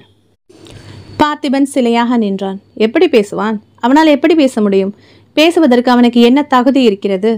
அவன் மோனிகாவிடமிருந்து விலகியதற்கு காரணமே இந்த ரகசிய கேமரா விவகாரம் தானே தன்னோடு படித்து தன்னுடனே வேலை பார்த்த மோனிகாவை கல்லூரி காலத்திலிருந்து சுற்றி சுற்றி வளைத்து கெஞ்சி கதறி மிரட்டி காதலிக்க வைத்தவன். அவள் தங்கியிருந்த ஹாஸ்டலுக்கு தினமும் சென்று அவளை தன் பைக்கில் பிக்கப் செய்து கொண்டு ஊர் சுற்றியவன். திடீரென அந்த ஹாஸ்டலுக்கு சீல் வைத்து அதன் உரிமையாளரை கைது செய்து உள்ளே வைத்தபோது விஷயம் தெரிந்து அதிர்ந்து போனான். அப்படியானால் அந்த ரகசிய கேமராவில் மோனிகாவின் குளியலறை காட்சிகள் உடை மாற்றும் காட்சிகள் எல்லாம் பதிவாகி இருக்குமே. அவளை அவன் எப்படி எப்படியெல்லாம் பார்த்து ரசித்தானோ? எத்தனை பேருக்கு? காட்சியாக்கினானோ? அவனுக்கு தலை சுற்றியது. அருவருப்பு உண்டானது. புனிதமான காதல் என்று யோசித்ததெல்லாம் புதைக்கப்பட்டது. அலுவலகத்தில் முகம் திருப்பினான். அவளாக வந்தாலும் பேச மறுத்தான். சக ஊழியர்கள் கிண்டல் செய்ததையெல்லாம் அவனால் தாங்க முடியவில்லை. கூனி குறுகினான். என்ன மச்சி அந்த ஹாஸ்டலில் உன் ஆள் இருந்திருக்கா? என கண்ணடித்த போது கண்ணாடி துண்டுகளாக சிதறினான் பார்த்திபன். அலுவலகத்தில் பேசப்படும் கிசுகிசுப்பு வக்கர பார்வை தாழாமல் தவித்தனர் மோனிகா சந்திரோதயா சிவகாமி மூவரும். அங்கு வேலை பார்க்கும் பெண்களில் இந்த மூவர் மட்டும்தான் அந்த பெண்கள் விடுதியில் தங்கியிருந்தனர். அதிலும் அந்த விடுதி அவர்கள் வேலை பார்த்த நிறுவனத்திற்கு பக்கத்திலேயே இருந்ததால் அவர்கள் அங்கே தங்கியிருந்தது எல்லோருக்கும் ஏற்கனவே தெரியும்.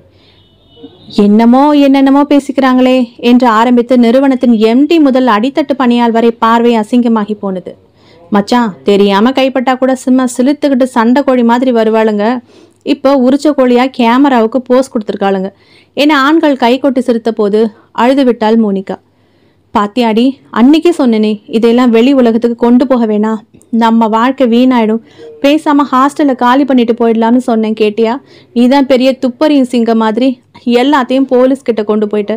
நம்ம பேரை போலீஸில் வெளி உலகத்துக்கு காட்டலைனாலும் நம்ம கூட இருக்கிறவங்களே நமக்கு சப்போர்ட் பண்ணாமல் நம்ம அறிவை பாராட்டாமல் நம்ம துணிச்சலை புகழாமல் இப்படி அசிங்கப்படுத்துகிறாங்களே மோனிகாவின் கோழைத்தனத்தை கண்டு சிவகாமி எள்ளி நகையாடினாள். முட்டாளே இப்போ புரியுதா? நம்ம கூட வேலை பார்க்குறவனுங்க பெரிய படிப்பு படித்து கை நிறைய சம்பாதிச்சாலும் மனசு எவ்வளோ சாக்கடைன்னு அது தெரியாமல் நாம் பழகிட்டு இருந்தோம். இந்த நிகழ்ச்சி மூலம் அவனுங்களோட வக்ர புத்தி தெரியுதேன்னு சந்தோஷப்படு. எனக்கு யாரை பற்றியும் கவலை இல்லடி. யார் வேணா எது வேணா பேசட்டும். நாலு நாளைக்கு பேசிட்டு ஓஞ்சு போயிடுவானுங்க. ஆனால் பார்த்திபன் என்னை அலட்சியப்படுத்துறதா எனக்கு பயமாக இருக்குது என்னால் அதை தாண்டி தாங்கிக்க முடியல. மோனிகா விசும்பினாள். விடுடி கொஞ்ச நாள் முறுக்கு காட்டுவான் அப்புறம் தானாக வருவான் நாம் பாரதி கண்ட புதுமை பெண்களாக வாழ்கிறதுனால ஆண்களையும் பாரதியோட பேரன்களாக நினைக்கிறது தப்புடி. அவனுங்க திருந்த டைம் ஆகும். அலட்சியமாக தோல் குலுக்கிய சிவகாமி மட்டும் அந்த அலுவலகத்தில் மோதி மிதித்துவிட்டு முகத்தில் உமிழ்ந்துவிட்டு தொடர்ந்து வேலை செய்தாள். பாதகம் செய்தவரை கண்டால் பயங்கொள்ளலாகாது பாப்பா என்று அவள் செய்த காரியம் பாவம் மோனிகாவையும் சந்திரோதயாவையும் தான் பாதித்தது. மோனிகா வேறு ஒரு நிறுவனத்திற்கு வேலை வாங்கி கொண்டு போய்விட்டாள். சந்திரோதயா வேலைக்கே முழுக்கு போட்டுவிட்டு கிராமத்திற்கு ஓடி வந்து விட்டாள் இந்த ரகசிய கேமரா பிரச்சனை பயமுறுத்தும் சமூக வலைதளங்களால் என்றைக்காவது எந்த விஷக்கிருமிகள் மூலமாக தெரிய வந்தால் வாழ்க்கையே போய்விடும் என்றுதான் உறவுக்காரனை மனமுடித்தாள். அந்த உறவே உரமாக நின்று தன்னை காக்கும் என்ற நப்பாசையில் சகாதேவனுக்கு சகியானாள். மிகவும் தைரியசாலியான சிவகாமியே இப்பொழுது தங்கையின் வாழ்க்கை என்று வரும்போது கோழையாகிய மாப்பிள்ளை வீட்டாரின் காலில் விழுவதும் பார்த்திபனே கெஞ்சுவதுமாக நின்றாள்.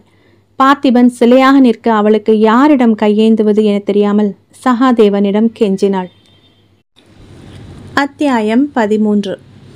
சகாதேவன் சார் பாத்தீங்களா இந்த அநியாயத்தை. என் தங்கை எந்த தப்புமே செய்யல. அசிங்கம் பிடிச்ச ஒருத்தன் பண்ண காரியத்துக்கு நாங்க பலியாகணுமா? இந்த கல்யாணத்தை நடத்த நான் ஒத்த பொம்பளையா நின்று கஷ்டப்பட்டிருக்கேன். இந்த கல்யாணம் நின்னா எங்களால் இந்த பாதிப்பை தாங்கிக்க முடியாது. என் அப்பா நோயாளி. பொண்ணு கல்யாணம் நின்று பொண்ணு அவரோட உயிர் போயிடும். சகாதேவன் ப்ளீஸ் மாப்பிள்ளையை தடுத்து நிறுத்துங்க. அவள் சகாதேவனிடம் கெஞ்ச. அதே நிமிஷம் மாப்பிள்ளையின் தந்தை மாப்பிள்ளையை எடுத்துக்கொண்டு நடக்க குறுக்கே வந்து தடுத்தான் சகாதேவன். சார் கொஞ்சம் நில்லுங்க. நீங்கள் செய்கிறது நியாயம் இல்லை. இப்படி ஒரு பொண்ணோட வாழ்க்கையோட விளையாடுறது ரொம்ப தப்பு. பாவம். யோ உன் அட்வைஸ் எதுவும் எங்களுக்கு தேவையில்லை. வழியை விடு. மாப்பிள்ளையின் கையை பிடித்தான் சகாதேவன். மிஸ்டர் உங்கள் அப்பா தான் பழைய ஆள். இந்த ஜென்ரேஷனை சேர்ந்தவர். நீங்களே இப்படி நடந்துக்கிட்டா எப்படி? நமக்கு சரிசமமாக வெளி உலகத்துக்கு வந்துட்ட பெண்கள் பல போராட்டங்களை தாங்கி தான் படிப்பு பதவின்னு இன்னைக்கு முன்னேறிட்டு இருக்காங்க அவங்களோட முன்னேற்றத்தையும் வாழ்க்கையும் கேவலம் அவங்க உடம்ப மட்டுமே வச்சு தடுக்கிறதும் தடை செய்கிறதும் எவ்வளோ பெரிய அசிங்கம். கைப்பிடிச்சு இன்னும் உயரத்துக்கு கூட்டிட்டு போகிறது ஆண்களாகிய நம்மோட கடமை இல்லையா? குடத்திலிட்ட விளக்கா இருந்தவங்கள படிப்பும் அறிவும் குன்றிலிட்ட விளக்கா பிரகாசிக்க வச்சிருக்கு. அந்த விளக்கை அணைய விடாம பொத்தி பாதுகாக்க வேண்டிய கடமை நமக்கு இல்லையா? மாப்பிள்ளை ஒரு கணம் திகைத்து அப்படியே நின்றான். மாப்பிள்ளை மட்டுமில்லை பார்த்திபனும் பலார் என அறை வாங்கியதைப் போல் நின்றிருந்தான். சகாதேவன் பேசிக்கொண்டே போனான். கேவலம் அவங்க உடம்பு கரைப்பட்டுட்டு தான் ஒதுக்குறீங்களே. இந்த அயோக்கியத்தனத்தை திருட்டுத்தனத்தை நுணுக்கமான டெக்னிக்கை யூஸ் பண்ணி கண்டுபிடிச்சாங்களே. அந்த அறிவும் திறமையும் உங்கள் கண்ணுக்கு படலை? சமுதாயத்துக்கு பயந்து நாலு பேருக்கு தெரிஞ்சால் நமக்கு அசிங்கம்னு கூட நினைக்காம இந்த மாதிரி அயோக்கியன்கள் முகத்திரையை கிழிச்சு சமுதாயத்துக்கு காட்டணும்னு தண்டனை வாங்கி தந்தாங்களே. அந்த தைரியம் அவங்களையெல்லாம் ஒரு ஜான்சி ராணி அவங்களுக்கு காட்டலை. தன்னை சுற்றி ஏதோ தப்பு நடக்குதுன்னு யாரோ நம்ம கண்காணிக்கிறாங்கன்னு உள்ளுக்குள்ளே எப்பவும் ஒரு விழிப்புணர்வோடு இருந்ததால தான் அவங்களால இதை கண்டுபிடிக்க முடிஞ்சது. இந்த விழிப்புணர்வு தான் அவங்க தங்களை காத்துக்கிற கற்பின் சக்திங்கிறது உங்களுக்கு தெரியல. இத்தனை துணிச்சலான பெண்கள் மனைவியா கிடைக்க நம்ம கொடுத்து வச்சிருக்கணும். பார்த்திபன் சகாதேவனின் பேச்சில் பிரமித்து போனான். மோனிகாவை அசிங்கப்படுத்தியதெல்லாம் அடுக்கடுக்காக கண்ணெதிரே விரிய நடுங்கினான். தன் மகன் சகாதேவனின் பேச்சில் தடுமாறுவதைக் கண்டு அவன் தந்தை எங்கே அவன் மாறிவிடுவானோ என பயந்தவர். என்ன? ரொம்ப தான் பேசுற? பெரியாருக்கு பேரன் மாதிரி. அவ்வளோ அக்கறை இருந்தா நீயே அந்த பொண்ணை கல்யாணம் பண்ணிக்க? சீறினார் மாப்பிள்ளையின் தந்தை. அதானே அதானே நீயே கல்யாணம் பண்ணிக்கோ ஏன்? ஒத்து பாடியது மாப்பிள்ளை விட்டு உறவுகள். சகாதேவன் சட் என்று அமைதியான். அமைதியாக பேசினான் இப்படி பாதிக்கப்பட்ட பெண்களில் ஒருத்தியை தான் நான் கல்யாணம் பண்ணியிருக்கேன். என்னோட மனைவி இந்த சிவகாமியோட ஃப்ரெண்டு தான். இவங்க கூட அந்த ஹாஸ்டலில் தங்கியிருந்தவங்க தான். இந்த உண்மை எனக்கே இப்போ தான் தெரிஞ்சுது. அதான் நீ பேசுகிற இப்போ எதுவும் பண்ண முடியாதுல்ல? இதே இந்த விஷயம் கல்யாணத்துக்கு முந்தைய தெரிஞ்சிருந்தா நீயும் அவள் கழுத்தில் தாலி கட்டியிருக்க மாட்ட. சகாதேவன் சிரித்தான். தப்பு சார் முன்னாடியே தெரிஞ்சிருந்தா என் மனைவியை ஃபிட்ஸுங்கிற பெரிய நோயிலேருந்து நான் காப்பாற்றிருப்பேன் அவள் எந்த உண்மையும் என்கிட்ட சொல்லாமல் மனசுக்குள்ளேயே போட்டு போட்டு அழுத்தி மூடி வச்சு மனநோய்க்கு ஆளாயிட்டா. தன் உடம்பை எவனோ ஒருவன் பார்த்துக்கிட்டு இருக்கானேங்கிற எண்ணமே அவன் மனசை அரிச்சு அரிச்சு தாம்பத்திய வாழ்க்கையில் ஈடுபட முடியாமல் மன பாதிப்புக்கு உள்ளாகி ஃபிட்ஸ் நோய்க்கு ஆளாயிட்டா. அவள் மட்டும் அன்னைக்கே உண்மையை சொல்லியிருந்தா அவள் மன பயத்தை போக்கியிருப்பேன் முழு சப்போர்ட்டாக இருந்திருப்பேன். இப்படி ஃபிட்ஸ் வர அளவுக்கு விட்டுருக்க மாட்டேன். ஒரே நிமிஷத்தில் என்னால் அவள் குணமாக இருப்பா. நல்ல வேளை இங்கே வந்ததால் எனக்கு உண்மை தெரிஞ்சது. இனி என் மனைவியை குணமாக்க கவுன்சிலிங் கொடுக்க டாக்டர் தேவையில்லை. நானே போதும் அவளை குணமாக்குவேன். சகாதேவனின் ஒவ்வொரு வார்த்தையும் மாப்பிள்ளையை மட்டுமல்ல பார்த்திபனையும் கூனி குறுகி வைத்தது. மாப்பிள்ளை தந்தை பற்றியிருந்த தன் கையை உதறினான். அப்பா என்ன மன்னிச்சிடுங்க. நல்ல வேளை ஒரு பெண்ணோட பாவத்தை சம்பாதிக்க இருந்தேன். இந்த மனுஷன் என்ன அந்த பாவத்திலிருந்து காப்பாத்திட்டார். சொல்லிவிட்டு விறுவிறுவென மனமேடையை நோக்கி சென்றான். சிவகாமி சகாதேவனை கையெடுத்து கும்பிட்டாள். Sir you are very great ஆனந்த கண்ணீர் அவளுடைய கண்களிலிருந்து வழிந்தது. சந்திரோதயா கொடுத்து வச்சவள். மிக சரியான துணையைத்தான் தேர்ந்தெடுத்திருக்கிறாள். பெருமிதத்தில் நெஞ்சு விம்மியது. சிவகாமி பார்த்திபன் சிவகாமியின் அருகே வந்தார். சிவகாமி நான் கிளம்புறேன் என்றான். எங்கே? கல்யாணம் முடிஞ்சு போ. இல்லை நான் அவசரமாக போகணும் அவசரமாக எங்கே போற? அச்சதையை போட்டுட்டு போ. இல்லை நான் உடனடியாக மோனிகாவை பார்க்கணும். டேய் நிஜமாவா சொல்கிற ஆமாம் சந்திரோதயாவோட ஹஸ்பண்ட் மாப்பிள்ளையோட கண்களை மட்டும் திறக்கல. என்னோட கண்களையும் தான். மோனிகாவை அலட்சியப்படுத்தினதுக்காக நான் ரொம்ப வைக்கப்படுறேன். என்னை மன்னிச்சிடு. நான் உடனடியாக போய் மோனிகாவை சந்திக்கிறேன். அவளோட சேர்ந்து வந்து உன் தங்கையை ஆசிர்வதிக்கிறேன். சொல்லிவிட்டு பறந்தவனை பரவசமாக பார்த்தாள். உற்சாகமாக பறந்தவனை செல்போன் அழைத்தது. மண்டப வாசலில் நின்று எடுத்து பேசிய பார்த்திபன் ஐயோ மோனி! என்று அலறினான். அத்தியாயம் பதினான்கு. சகாதேவன் மருத்துவமனைக்கு கிளம்பி கொண்டிருந்தான். சிவகாமியின் தங்கையின் திருமணம் நல்லபடியாக நடந்த சந்தோஷமும் நிம்மதியும் முகத்தில் இருந்தது. செல்போன் அழைத்தது ஹலோ மறுமுனையில் சந்திரா. என்னங்க? எங்க இருக்கீங்க? சந்திரோதயாவின் குரலில் பதற்றமும் படபடப்பும். மண்டபத்திலேருந்து கிளம்பிட்டு இருக்கேன் என்னங்க? சீக்கிரம் வாங்க. இங்க இங்க. என்னாச்சு சந்திரா? ஏன் பதற்றமா இருக்க? என் என் ஃப்ரெண்டு மோனிகா விஷத்தை குடிச்சிட்டா. இந்த ஹாஸ்பிட்டலுக்கு கொண்டு வந்திருக்காங்க. அதில்தான் சகாதேவன். அவன் மருத்துவமனைக்கு சென்றபோது மோனிகாவிற்கு சிகிச்சை நடைபெற்று கொண்டிருந்த அறைக்கு வெளியே பார்த்திபனும் சந்திரோதயாவும் அமர்ந்திருந்தனர். பார்த்திபன் தலையிலேயே அடித்து கொண்டான். எல்லாம் என்னால தான். என்னோட அலட்சியமும் வெறுப்பும் தான் மோனிகாவை இந்த அளவுக்கு தூண்டியிருக்கு. மோனிகா அவசரப்பட்டுட்டியே. நான் என் முட்டாள்தனத்தை வந்து உன்கிட்ட மன்னிப்பு கேட்க ஓடி வரும்போது இப்படி பண்ணிக்கிட்டியே. சகாதேவன் அவன் அருகே அமர்ந்தான். தோள்களை தட்டினான். கவலைப்படாதீங்க பார்த்திபன். அவங்க பிழைச்சிடுவாங்க. பிழைச்சிடுவாளா? மோனிகா மோனிகா மாதிரி ஒரு பொண்ணை பார்க்க முடியாது சார். படிக்கிற காலத்தில் எங்கள் குரூப்லேயே அவள் தான் எல்லாத்துலேயும் ஃபஸ்ட்டாக வருவா. அத்தனை புத்திசாலி. அவளோட புத்திசாலித்தனம் அறிவு திறமை எதையுமே மதிக்காமச்ச கேவலமாக நடந்துக்கிட்டேன் அவள் பிழைச்சி வரணும். அவள் காலில் விழுந்து நான் மன்னிப்பு கேட்கணும் சார். பயப்படாதீங்க. மோனிகா பிழைச்சி வருவா. அவன் சொன்ன அதே நிமிடம் சந்திரோதயா பயம் மிளரும் கண்களுடன் அருகே வந்து அவனுடைய கைகளை பற்றினாள். பயப்படாத சந்திரா. மோனிகா பிழைச்சிடுவா. அதே நிமிஷம் டாக்டர் வெளியே வந்தார். டாக்டர் கவலைப்பட தேவையில்லை. மோனிகா ஆபத்தான கட்டத்தை தாண்டியாச்சு. இனி அவங்க உயிருக்கு எந்த ஆபத்தும் இல்லை. தேங்க் காட் டாக்டர் நான் மோனிகாவை பார்க்கலாமா? பார்த்திபன் கெஞ்ச டாக்டர் அனுமதித்தார். தாராளமா. அவன் அறையை நோக்கி ஓட டாக்டர் நகர சந்திரோதயா சகாதேவனின் கைகளை பற்றி கொண்டு அவனுடைய முகம் பார்த்தாள்.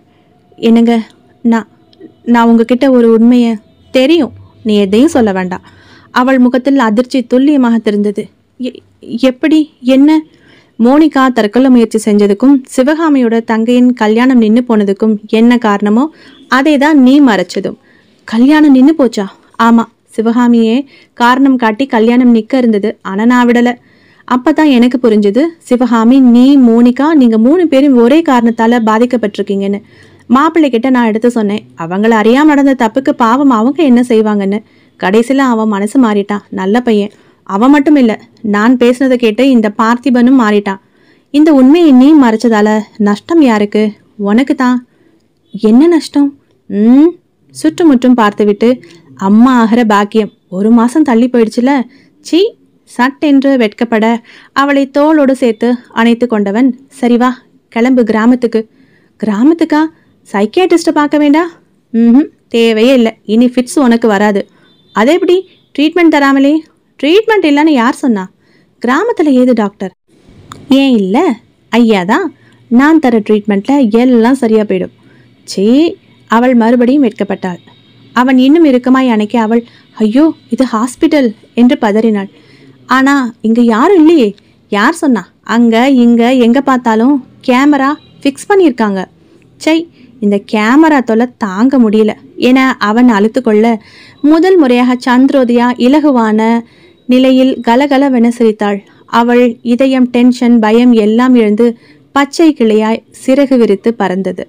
அவளுடைய இதயம் மட்டுமல்ல உள்ளே மோனிகாவின் இதயமும் தான். உடல் பார்த்திபனின் அணைப்பிற்குள் இருந்தாலும் மனம் பச்சை கிளியாய் மாறி பறந்து கொண்டிருந்தது. இனி அவர்கள் வாழ்வில் எந்தவித கலக்கமும் இல்லை. முற்றும்.